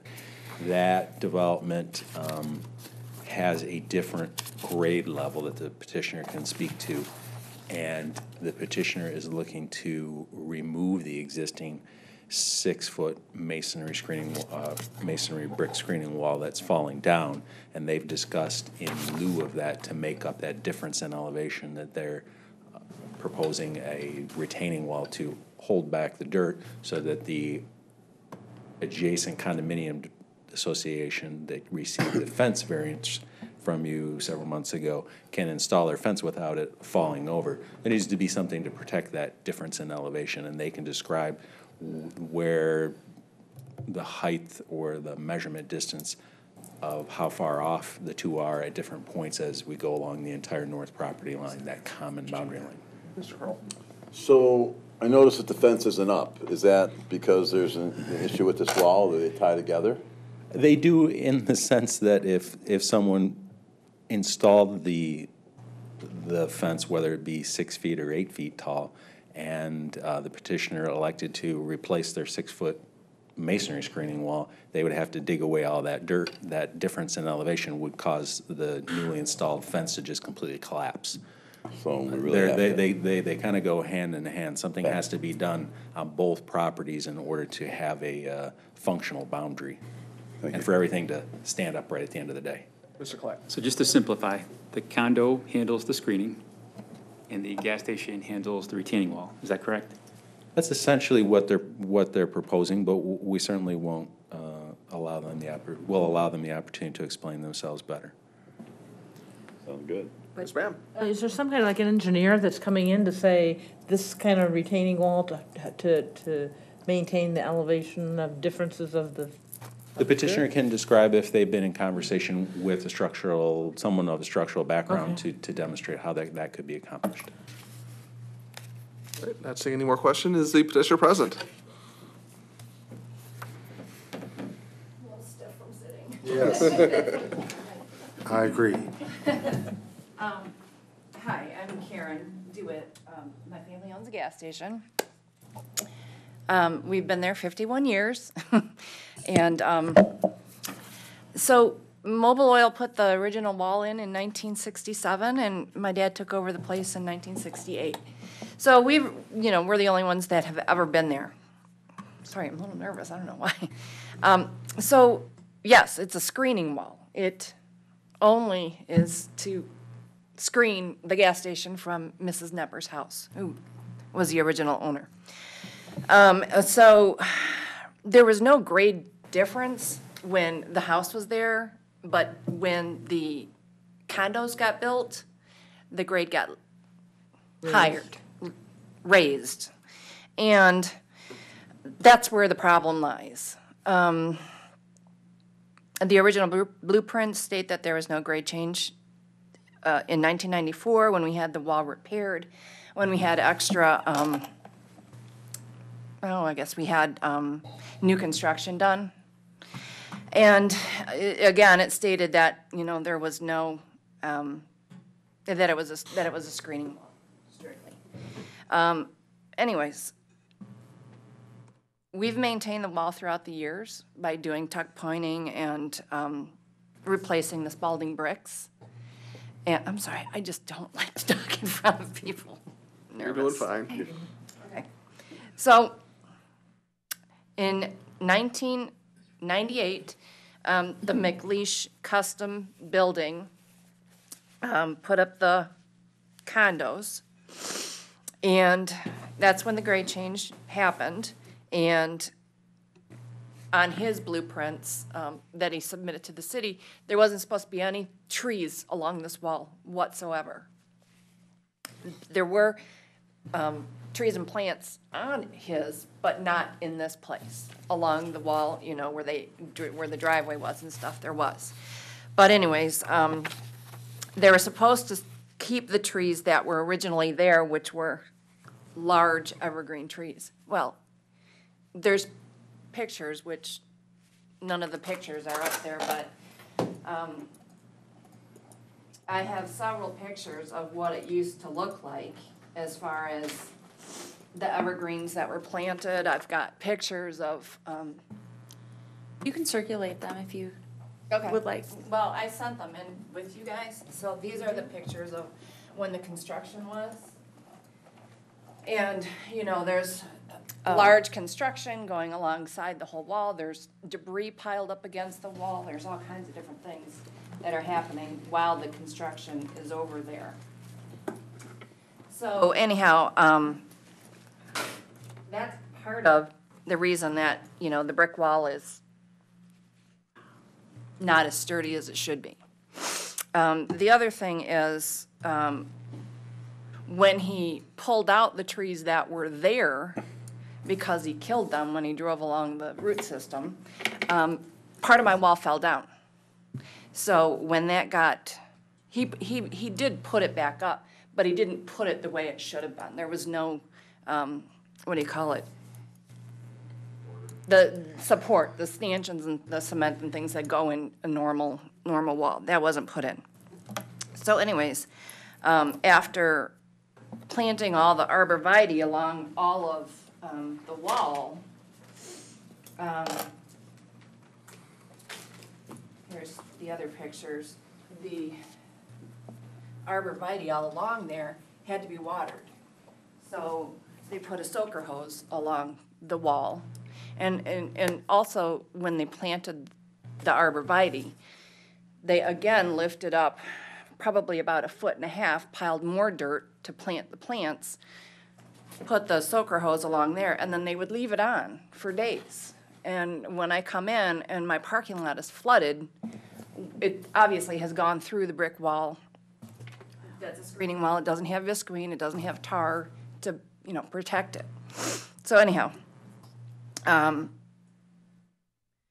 in the, the the extra dirt, the planting, the watering, and then the removal, which happened in 2019, of all the arborvitae along the fence, has, you know, with the root systems and everything, has taken its toll on the wall. So, um, uh, let's see, after, then, okay. Um, so anyway, we've been there fifty-one years, and we try very hard, you know, to keep our business and our grounds looking clean and nice for our customers. I'm sorry. Anyways, Well, actually, I, I do have one question for you, because I'm, I'm, you know, I'm looking at the letter that's on, uh, that was written on your letterhead for McPeak Inc. So all parties have come to an agreement that the condo's gonna install the fence that they're gonna install, you're gonna install the three and a half foot masonry retaining wall. Right. Kumbaya, everybody's gonna be happy at the end of the day if, if, if that happens. that's the idea. All right. Good to me. Everybody agrees that, that Hallelujah. we don't wanna have to put up the wall, the, the wall to put back up as a retaining wall at six foot is forty-seven thousand dollars. I don't wanna pay that. You know, we don't make that much money on our gas, okay, but anyways, to lower it to like the three and a half, four feet, I've gotten a quote for twenty-seven thousand dollars. Okay, that's still high, but it's not forty-seven thousand, okay? So, um, the condos, the, the alternative is, if you're gonna make me put up a six-foot wall, it's not gonna be a retaining wall. It will simply be a screening wall. The condos are gonna have to figure out what to do with all that dirt. And as it stands right now, the condos are, the dirt, you know, at their, at their level is up here, and it- there's a natural trough from when they planted the arborvitae and the dir- dirt that's on the wall. It comes down, when it rains, the water goes out, it seeps into the ground, or it goes out one way or the other. Um, if I have to just put up a screening wall, they're gonna have to remove all of that dirt.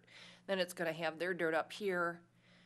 When it rains, like the rain that we had yesterday, it's gonna slope down towards my wall, and they're gonna have to figure out how to not have their, that happen.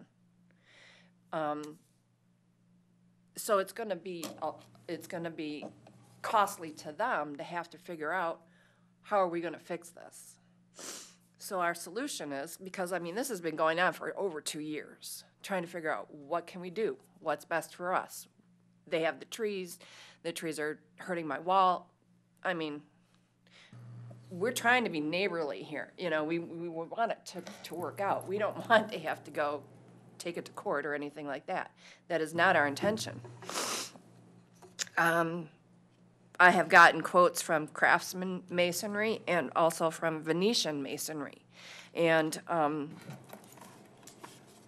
uh, we're gonna work together on getting this wall put back up.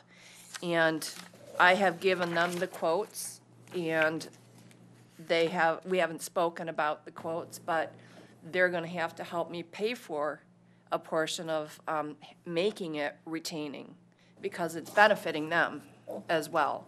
We haven't discussed what would be acceptable. That's another conversation, you know, coming, but, um, at least at this point, if we can get the variance to have it lowered. Um, I've also given you pictures of, um, I drew a picture actually of what it will look like. There's a picture of their fence that they have right now that is six foot. Um, I think you have it up there, but if not, I have one here. It, um, this is the picture that I drew. I think here, right? Yep. Oh, there you go, That's yeah. my wonderful drawing. Um, So you can't see any of theirs, and then right below it is the three and a half or four foot tall brick wall that, you know, we're proposing to put up. And then the next picture should be of what the fence that they're putting up looks like right now with where the, our wall has already fallen down. It's approximately three and a half feet. So there's not going to be this gap here, so you're not going to see any of their dirt. You know, we wanna make sure that it's, you know, gonna it'll look be nice. sitting on top. So that's, you know, that's the idea. Yeah, that was it, back up one, right there. So that's a six-foot fence that they have right now. They're gonna put up another fence that's two feet higher than that. And then the brick wall that's there right now, of course, is going to be at least that high, if not a little bit higher than that, so that there's not going to be a gap and you're not going to see any, you know, dirt in between. Um,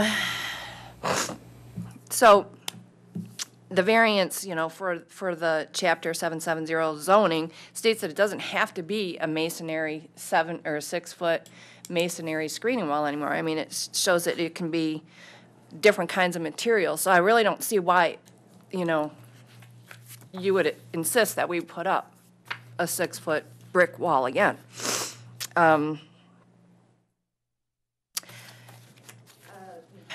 I guess the, the, I told you already that if we had to put it up, that it would just be a screening wall and not a uh, retaining wall.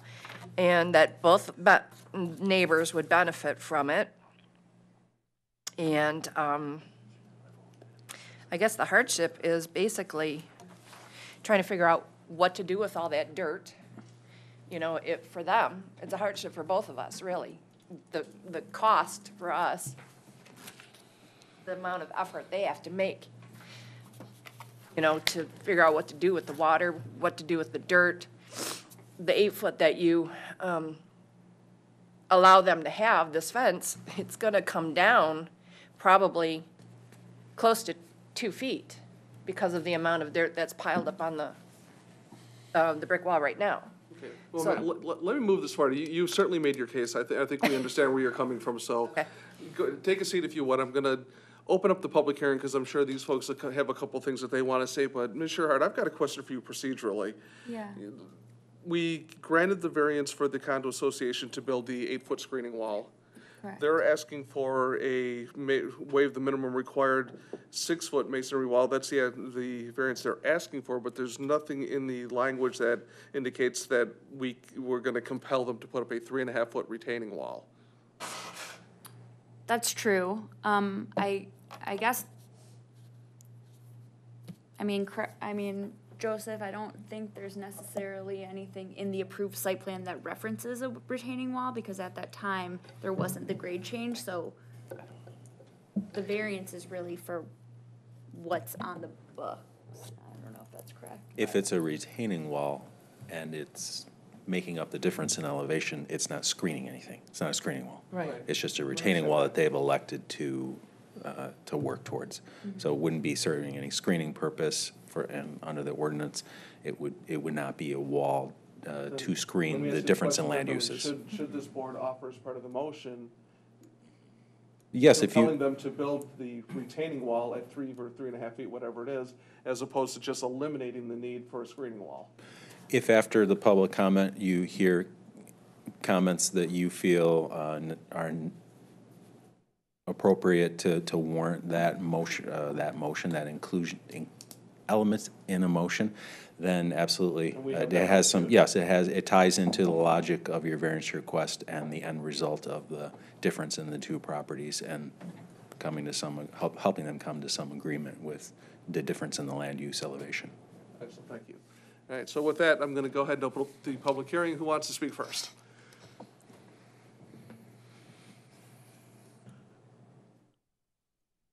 Good evening, I'm uh, Michael Roberts. I'm treasurer for the Indian Wells Homeowners Association, which is directly to the north.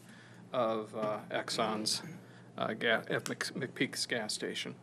Um, Just uh, in terms of some history as well, the, none of, none of the owners were there 20 years ago when the builders actually did all this work, so we can't speak to anything that happened before uh, relative towards uh, dirt being pushed up against the screening wall or the planting of the arborvitae's and so forth. When we took position, possession of the, uh, of the association, I think it was 94, 95, we were very careful to, to lower the watering and try to preserve things. Uh, Most recently, when we um, when the wall fell, uh, and uh, we were working with Karen in terms of trying to get the scheduling out. We pulled the arborvitae's out. We paid extra to get them dug out by hand to try to preserve or risk any further dam, not risk any further damage uh, to the wall. So um, I think this is representative of some really good progress in terms of the working relationship between the homeowners association and um, the uh, gas station. Uh, We absolutely do not object to the variance that's being requested here in terms of lowering the height. In fact, it helps to alleviate a potential hardship for us as well, just in terms of trying to maintain the uh, property between the wall and the existing wall, if it were to be at the existing height, would, would create a pretty significant drop, and trying to maintain plants and those kind of weeds that would grow up there would be a problem. So the lower height actually helps us in that regard. Um, Our only concern about the variance, or, or really just kind of a, a, a thought about that, is just the existing wall that runs north-south is at a higher height. This would be at a lower height, some kind of a transition, just in terms of making it look aesthetically pleasing between, when those two walls meet, rather than having a wall here and then a wall here with a two-foot drop or whatever that would be, would be uh, preferred. Um, we're obviously working with her in terms of uh, thinking through how best to work through uh, helping to pay for this and all this, uh, even though we weren't really involved in any of the decision-making that went along with that. So, any questions? Yes, my only question would be the same one I asked her, so I mean, then, again, I'll reference the same letter, I mean, at the end of the day, if we approve this and you do your thing and she does their thing, you're gonna be happy on your side as well. Absolutely. All right. All right, Mr. Gavin? I guess I was just mildly curious about, it sounds like there's still some talks to go here in terms of monetary, but is it like, kind of like both sides have agreed that they're gonna contribute s- uh, somehow to this, and you're just gotta kind of nail down the details, or is that still like, I was just curious as to where that stood. Uh, we, uh, the board has agreed to uh, put some money in. We had a a figure amount. We just got the quotes. We've got to work through all that. Okay. All right, Thank you. All right, anybody else? All right, not seeing anybody, I will close the public hearing and bring it back to this side of the table. Mr. Ofac? I shall move to grant the motion as requested with the stipulation that um, a retaining type wall be built uh, to the height of, what is it, three and a half, four feet, wherever it needs to be above the, the soil there. All right, we have a motion? I'll support. We have support. Um, Mr. Murphy or Mr. Sherhart, I mean, are you happy with that motion? Do you want any additional language, or? All right. Floor is yours, sir. Um, basically, the hardship is what was there when it was first built is not there what it is now. Um, it sort of makes silly, as the homeowner association said, to have a wall that's required to be six feet tall and create a crevice in there, making it hard to maintain. So I, I think this is the best option for everybody. And, um, by granting this, they can then work out the whole transition at the corner as to how they want to do it, because that would still be uh, above the variance. So I think it's acceptable. Yeah, I think, I think that grade difference is, is the hardship. It's, it's, uh, it's caused all kinds of problems with that wall, and I think this is probably the clearest case I've ever seen of good fences making good neighbors, you know? It, it, uh, I think it could work to everybody's benefit. Yes, ma'am. Raising the grade between the two properties, I mean, that should, that happened at some point, probably shouldn't have happened at some point. Sounds like Num- they dug up the basements and just moved dirt And instead they of moved hauling it someplace out. to put the dirt. And then we could keep talking about a three and a half foot masonry retaining wall. My concern is there, how do we know we need a three and a half foot? Maybe we only need a three foot, maybe we need a four foot. It seems to me we're kind of putting the f- cart before the horse to say we need a three and a half. I- I- It's just my opinion that that, that should be some kind of, um, engineer that's, a, a structural engineer that's looking at that to say, what do we really need? And then go to say, should we grant that, which I don't think granting the variance is the thing. It's more what it ha- needs to be done to hold back that dirt. Just my thoughts. mr Wood, did you have a comment you, that you wanted to add to that? Well, we, yes, the, the. Come to the microphone, please. The, um, the two co- companies that we had come out to give us a quote, we've measured that wall eighteen different times. So i- within the last two years, it's gonna be three So and a there half was- to four feet, depending on how, how much higher we want it as to where the bottom of their fence is, we don't wanna have that gap. That's why I said three and a half to four, I didn't say three and a half, I s- didn't say four. I wanted there to be a little bit of a leeway so that, you know, Oh. we could take that into consideration. Mr. Curtis? Just sorry to jump in front, I wanted to ask the petitioner. And the people that quoted you were quoting a retaining wall, as in sufficient to hold I back have the had, earth. I've had quotes for, um, screening wall, Yeah. retaining wall, six foot tall, three and a half foot tall. The guy that I just had come and give me the last quote, he decided it needed to be four foot. So, I mean, I've, I've gotten lots of different, you know, mm-hmm. things, but yes, because we've been going back and forth saying, well, why should I have to put up a retaining wall? Well, this is the reason. We don't know what to do with the dirt. Okay, so now we have to have the guy come back out and quote me for the, the shorter wall, hoping that, you know, we could get the variance. So we've gone back and forth lots of times. Yes, yes, ma'am, Another of course. question for you, as long as you're there. Is there a, a real price difference between a retaining wall versus a screening wall of the same material and the same? Hmm. Well, we're, we, well, Well, okay, so we had to replace the, the wall on the west side in two thousand and ten. We chose to go with block because it looks nice. We wanted something that matched our building. Because they didn't have the same kind of brick that we had, you know, in nineteen sixty-eight. So we want to do the same thing on this wall. So we're paying the extra cost to have that. Yeah, we could have had a poured whatever, concrete, you know, something that does the job, but it doesn't look nice. Okay? so- Um, but yes, to have it retaining versus to have it, uh, screening, there's a lot more to it. A, a screening wall only is blocking view. A retaining wall is, is holding back, it's retaining the dirt. So yes, there is a, a large cost difference in that. So then my question to the, to maybe Joseph or the board or whatever is that we are implementing, we've gone from a screening wall to a retaining wall and putting a burden on someone who probably shouldn't have had that burden on in the first place. That's, uh, I am all for the, Fixing it. I'll support the, the petitioner here, but I don't know if we should add retaining wall, because I don't think that, at that point, we're putting the burden on her and it, or, or that, that business, and I don't know that they, it, That's what I said.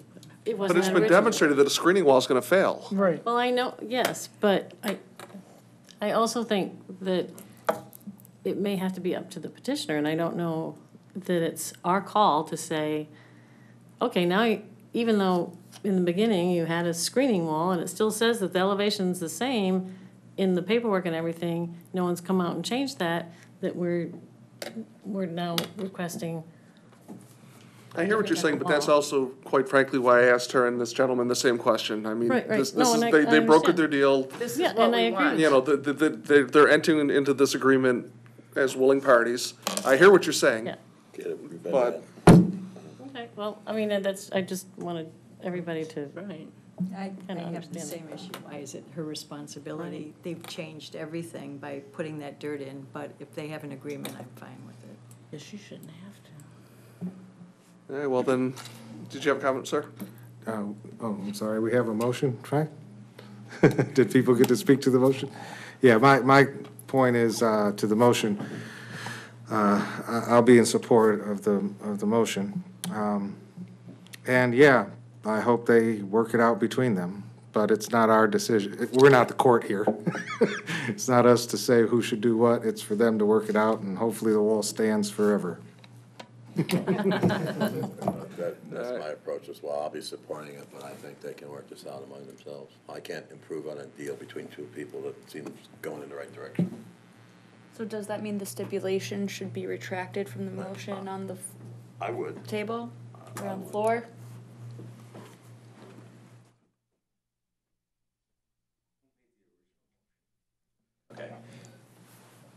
Do you, could you explain the logic behind the addition, the additional contingency associated with waiving the variance request? My logic is, knowing from my experience, you have to have a retaining wall, a screen, this is why the brick wall failed. It originally was a screening wall, and then the soil got put there, and it was never built for a retaining wall. So we can say, yeah, you can do a screening wall at three and a half, four feet, but she's gonna be just throwing money away. Um, because basically, if it's a screening wall, it'll screen until the soil pushes it over, and then she'll have to go do it again. So, trying to help her out the best as I can. So long as this soil is here, it needs to be a retaining wall. Mr. Clat? I'll support what Anthony said too. I think both walls will fail eventually. If that, if the retaining wall goes, that fence is most likely going to go too. So it, it needs to be retaining walled. It's critical. I'd like them to engineer this thing, and I, I don't think it's really our role to tell them how it should be done. Well, excuse me, Mrs. Anderson, what you're saying is, why should I have to be the one to pay for the retaining portion of it when it wasn't my dirt that was put on it? Is that what you're trying to say? Well, I, I, I didn't want the definition of the, of the, re- uh, and, and you- only you have the burden of, of that. Right. Well, Even though I know you'll put in a retaining wall because it's your best interest, I mm-hmm. just didn't know if the way we were phrasing it was necessary, I guess is what I'm saying. In my opinion, if you got the soil where it's at, their fence is screening. So by default, they don't even need to screen anything on here. That's true. Hmm? But it fails totally. Mr. Gavin? Uh, I kind of look at it a little bit differently in, in, uh, in terms of why I think that this, this caveat needs to be in there. In terms of if we don't, if the, if a retaining wall is not constructed, right? Something's gonna have to be decided in terms of either removing dirt uh, or, you know, something along those lines. And our ordinance, I mean, the very reason that we're getting rid of the screening wall requirement is because a retaining wall is being built. That's like, that's it. So if, if it weren't going, if there were, or there were not going to be a retaining wall, some other solution would have to be found, and it would then default back to our normal ordinance, which requires a six-foot screening wall in cases like this. So that's, that's kind of how I view it, is, is if, if a retaining wall is not built, some, something else will have to happen with that dirt, and then we will fall back to our normal position of requiring a screening wall. I think we're designing this, and we really I think don't it's, need to. I think we've overthought it a little bit. With that being said, I'm just gonna call for the vote. All those in favor of the motion signify by saying aye. Aye. Those opposed? You're all set. Hopefully you guys get it all worked out. Thank you. Thank you. Ms. Sherhart, any other business for the good of the city? Yeah, that's, I don't know who that is. That was the Joseph? Did you want to speak about the, Any board member wants to bring it? Mr. Kroll? I, I would be interested to see, I, I know there's some changes that have come about from our last meeting with them, and I, I would like to, uh, I'd like to hear the changes. Which case are you referring to? Oh, the. What, the motion for reconsideration? Yeah. Motion for reconsideration. So are you making that as a motion? Yes, I'm making that as a motion. Is there a second? I'll add some comments before we discuss it. It's a, Okay. okay. Yeah, please. Give us a little direction here. Okay, just a refresher on, on what a variant, what a motion to reconsider is. A reconsideration is essentially taking the decision That was previously made on a case. In this particular instance, there was a unanimous decision to deny all of the variance request. The reconsideration, a reconsideration request would be to take that previous motion and to say it never existed and to discard it. Uh, The reconsideration, if you, there's a motion and a support, if the majority of the board approve the reconsideration request, that will grant the petitioner the opportunity to reapply. And essentially, he- the exact same variance request is able to be reheard, uh, get a fresh notice to all the adjacent property owners, and it would be, a reconsideration is to hear the exact same variance requests that you previously heard, but to view them in what you may consider to be new uh, evidence, new light. Well, may I ask a question about that procedurally?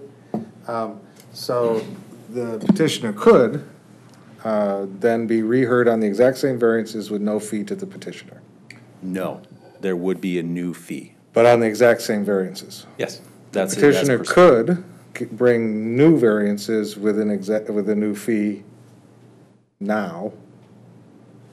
If they were considerably different, excuse me, if they were considerably different from what you as previously opposed- denied. As opposed to having to wait a year or something. Yes, Yeah, exactly. okay, And that, I had a conversation with the petitioner uh, the day after you had denied it last month uh, with some tweaks and different concepts, and um, it wasn't enough to say justifying being a different variance request. It was essentially slight modifications or reductions on the variances that were previously considered. Um, the board can't hear the same variance requests. You can reconsider the same ones and grant them those variances or less than those variances, but they can't be heard um, on the exact same variance request for one full year unless you reconsider the request again. That is to essentially take the motion that previously, in this case, was to deny, all the variance requests, say, we never discussed that, pay new application fee, notice everybody again, and say, this is getting an entirely fresh new review under, under reconsideration. Let me ask you the question differently then, and of course, with all due respect, does this board have the ability to say, we disagree with your decision that the, the changes are not significant enough to warrant a new case, and therefore will grant him the ability to come in front of us, and we considered a new case, basically overriding an administrative decision? Is that something that can be done procedurally? One more time on some of those aspects? It's too late. Well, no, no, so I mean, so y- you pretty much said that the tweaks that he offered were not significant enough in your mind? Yes. And what if we were to say, well, we respectfully disagree, and we'd like to hear the new case? then he would have to seek an administrative appeal in front of Ah, the all right. board from our determination if you uh, overturned our determination, he would then be able to file an application month there, out thereafter to be able to come back, correct? All Yes. It's, it's a way to get to the same thing, which takes a lot longer. Gotcha, And- gotcha, And okay. presuming that the remainder of the board uh, felt the same way you did and Right, right, approved a no, no, motion to overturn our decision, yes. I, I just want to have the academic debate. I didn't know was Absolutely. possible, I- so- Hey, that's what it's all about. I agree. All right, so we have a motion. Mm-hmm. Was there a second? I'll second. And I'm, uh, just for clarity's sake, this is case nineteen zero eight two nine two one two North Edgeworth Avenue. Okay. So that we can have that on the record and people know what we were actually talking about. Uh, One question too, I was not in attendance last month when this was heard initially. Does that have any impact on what I can vote on? No, no, you can vote on this, this motion on the table. I will say that if the motion is approved, the petitioner can contact our office, uh, probably Julie be a good contact, uh, to be able to, to get that application from you and that fee so that we can process it as fast as possible. We do have to have it published in the newspaper and sent to the newspaper next Friday. So it would be a, a short turnaround time, but certainly capable of putting it on the next agenda. So I guess I would ask my fellow board members, because to be quite frank, you sent the email out about six o'clock this evening, I believe. There was one the day after your, uh, whatever last month's decision was, and then there was one earlier today.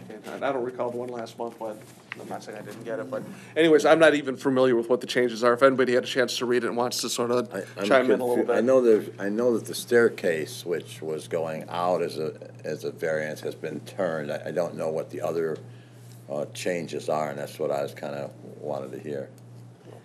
Well, we had the opportunity to reduce some of the concrete um, criteria, things that he brought to us, and, and I feel confident in my vote, the way it was. Um, That's, you know, And If it's okay with the board, I'm, going to- do you mind if I ask the gentleman for the quick thirty-second cliff yeah, notes? sure. Yes, all right, thank you very much. Um, for- Please reintroduce yourself as well, please. Yeah, what? Oh, sorry, I'm Chris Adams, owner of the uh, 212 North Edgeworth home, um, the uh, home in question. Um, I would just like to start by saying I did not fully understand the process the last time or um, exactly how the variances were given or the uh, requests to reduce. I thought that if you said no, I could simply then re-propose with the reductions. I did not understand that a no meant I had to go through this whole process again. So I do apologize for that. It was a misunderstanding on my part. Um, having said that, the uh, proposals are that um, I, I discussed um, with uh, a couple of people, and um, the, uh, the new proposal, instead of having the like nine variances, would have um, I, I believe it's just two. I will have to make the official drawings and um, have Mr. Murphy go through them to state for sure. But the um, variances were before were like width of the driveway and overall coverage and um, some other things because the way I had the stair set. Turning the stairs sideways got rid of three of the variances for the driveway width, etc. Um, and the garage now, instead of being a uh, 30 by 35 foot garage with an overhang. Um, I reduced it to a 26 by 35 garage because that is the standard garage size that I can purchase easily. Um, there is the potential option. Um, speaking with a company, there is a potential option to maybe buy a 26 by 30. It is more expensive because it is special. Um, so I was trying to get the um, standard garage from them. I did this time speak with uh, all of the neighbors. Um, went around and talked to them, showed them what I have, and um, it was what I sent out the first time was uh, this. I'll let you pass that around. It's a 3D view, a front view, and then a uh, top view down of um, of what my proposal is. Um, I also went around and talked to all the neighbors and um, had them actually, and that's what was sent out last night late. Um, I went out and had them all uh, actually sign the sheet here. Oh, oh, that's just the agenda, you know, that one. Um, but I had them all sign the sheet saying that um, they actually, I had talked to them. They like my idea, and um, they all said that um, they're in support of at least reconsidering it so that they can uh, see the full, my full new plan with all of the specific laid out um, uh, dimensions, et cetera. All right, so, well, let me bring, bring it back to this side of the table, but I'm gonna ask you one question directly, just for point of cl- clarification. You are telling me that you're gonna take it from the previous nine requests down to two variance requests, and you have effectively eliminated seven? I believe it's two. Okay. Yes, that is my plan. Because is I mean, two, I- that's, I that- that's a pretty significant number. Mr. Curtis and Mr. Ofac. I have a question for you. We have a motion on the table whether or not we're gonna rehear this. We haven't voted on that motion, We have not. and yet I'm starting to hear this. Can we deal with the motion on the table?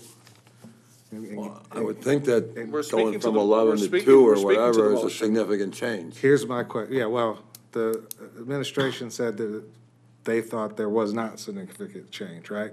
Your question is, can we overrule that? I don't, you know, but I am interested to leave it where it was last month, in that we heard the case.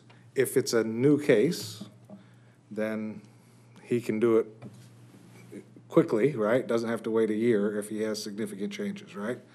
And that's for administration to figure out.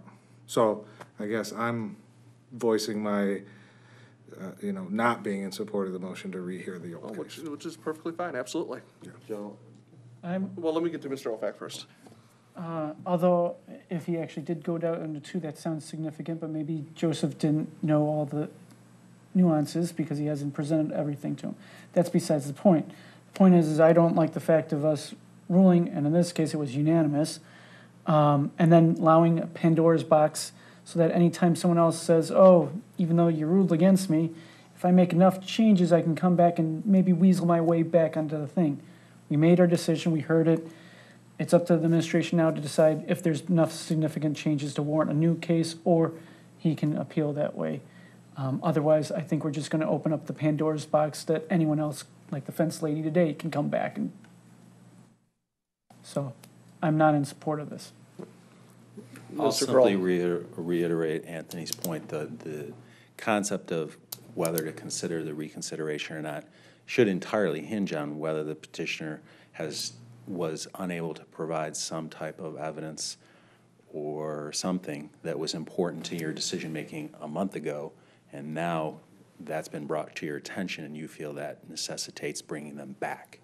That's the real crux of whether you should be considering a reconsideration or not. Well, I think my vote would have been different had I, had it been two variances versus as many as there was. I, it certainly would have been different if there weren't, if the whole neighborhood wasn't here. Yes, and I, I think uh, that's Mr. complaining. Ofack's point of, of just making sure that, that, that we s- clearly state what the reasons are so that it can be defended on staff's point of why was this one taken for reconsideration and not that one? We can point back to, well, the board said these particular things in determining whether they wanted to bring them back for reconsideration. Mr. Ofack? Thank you, Joseph. You actually put it perfectly. He didn't change, he didn't give any new evidence of what we heard. He changed based upon our decision. Changing off of our decision is not new evidence. Therefore, he needs to go through the process to get it reconsidered. That's why I won't support this. All right, any other comments? All right, I won't be supporting the motion either, but I did want to give you the courtesy and, and frankly, the edification.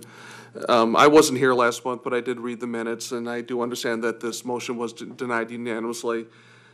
Hopefully, you can get to the point where you make enough changes where staff feels you've made enough changes where you can present this as a new case.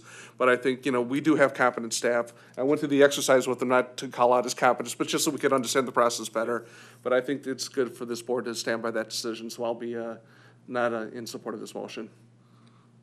Is there any other discussion? Mr. Gavin? I, I know I, uh, uh, seconded, but uh, based on the discussion here, I think I get a better understanding of the process myself now too. So I, I actually will be voting no on the motion. All right. So I'll call for the vote. All those in favor of, uh, approving the motion signify by saying aye. Aye. Those opposed? Nay. No. Nay. Doesn't look like I won that one, does it? Uh, But thank you, sir. Hopefully, we can make this work, because we, you know. Yes. I would encourage you to, to package it, go back and see if we can take another look at it. Uh, Mr. Murphy, I do have a question for you. Um, if you have five minutes after this on a different thing, can, can I? Oh, you're in the office tomorrow then? Yes. Okay, thank you very much. All right, thank you, sir. Good luck. All right, so we have nobody left, so there will be no public comment. Motion to go home. Support. Support? All those in favor? Aye. We are adjourned.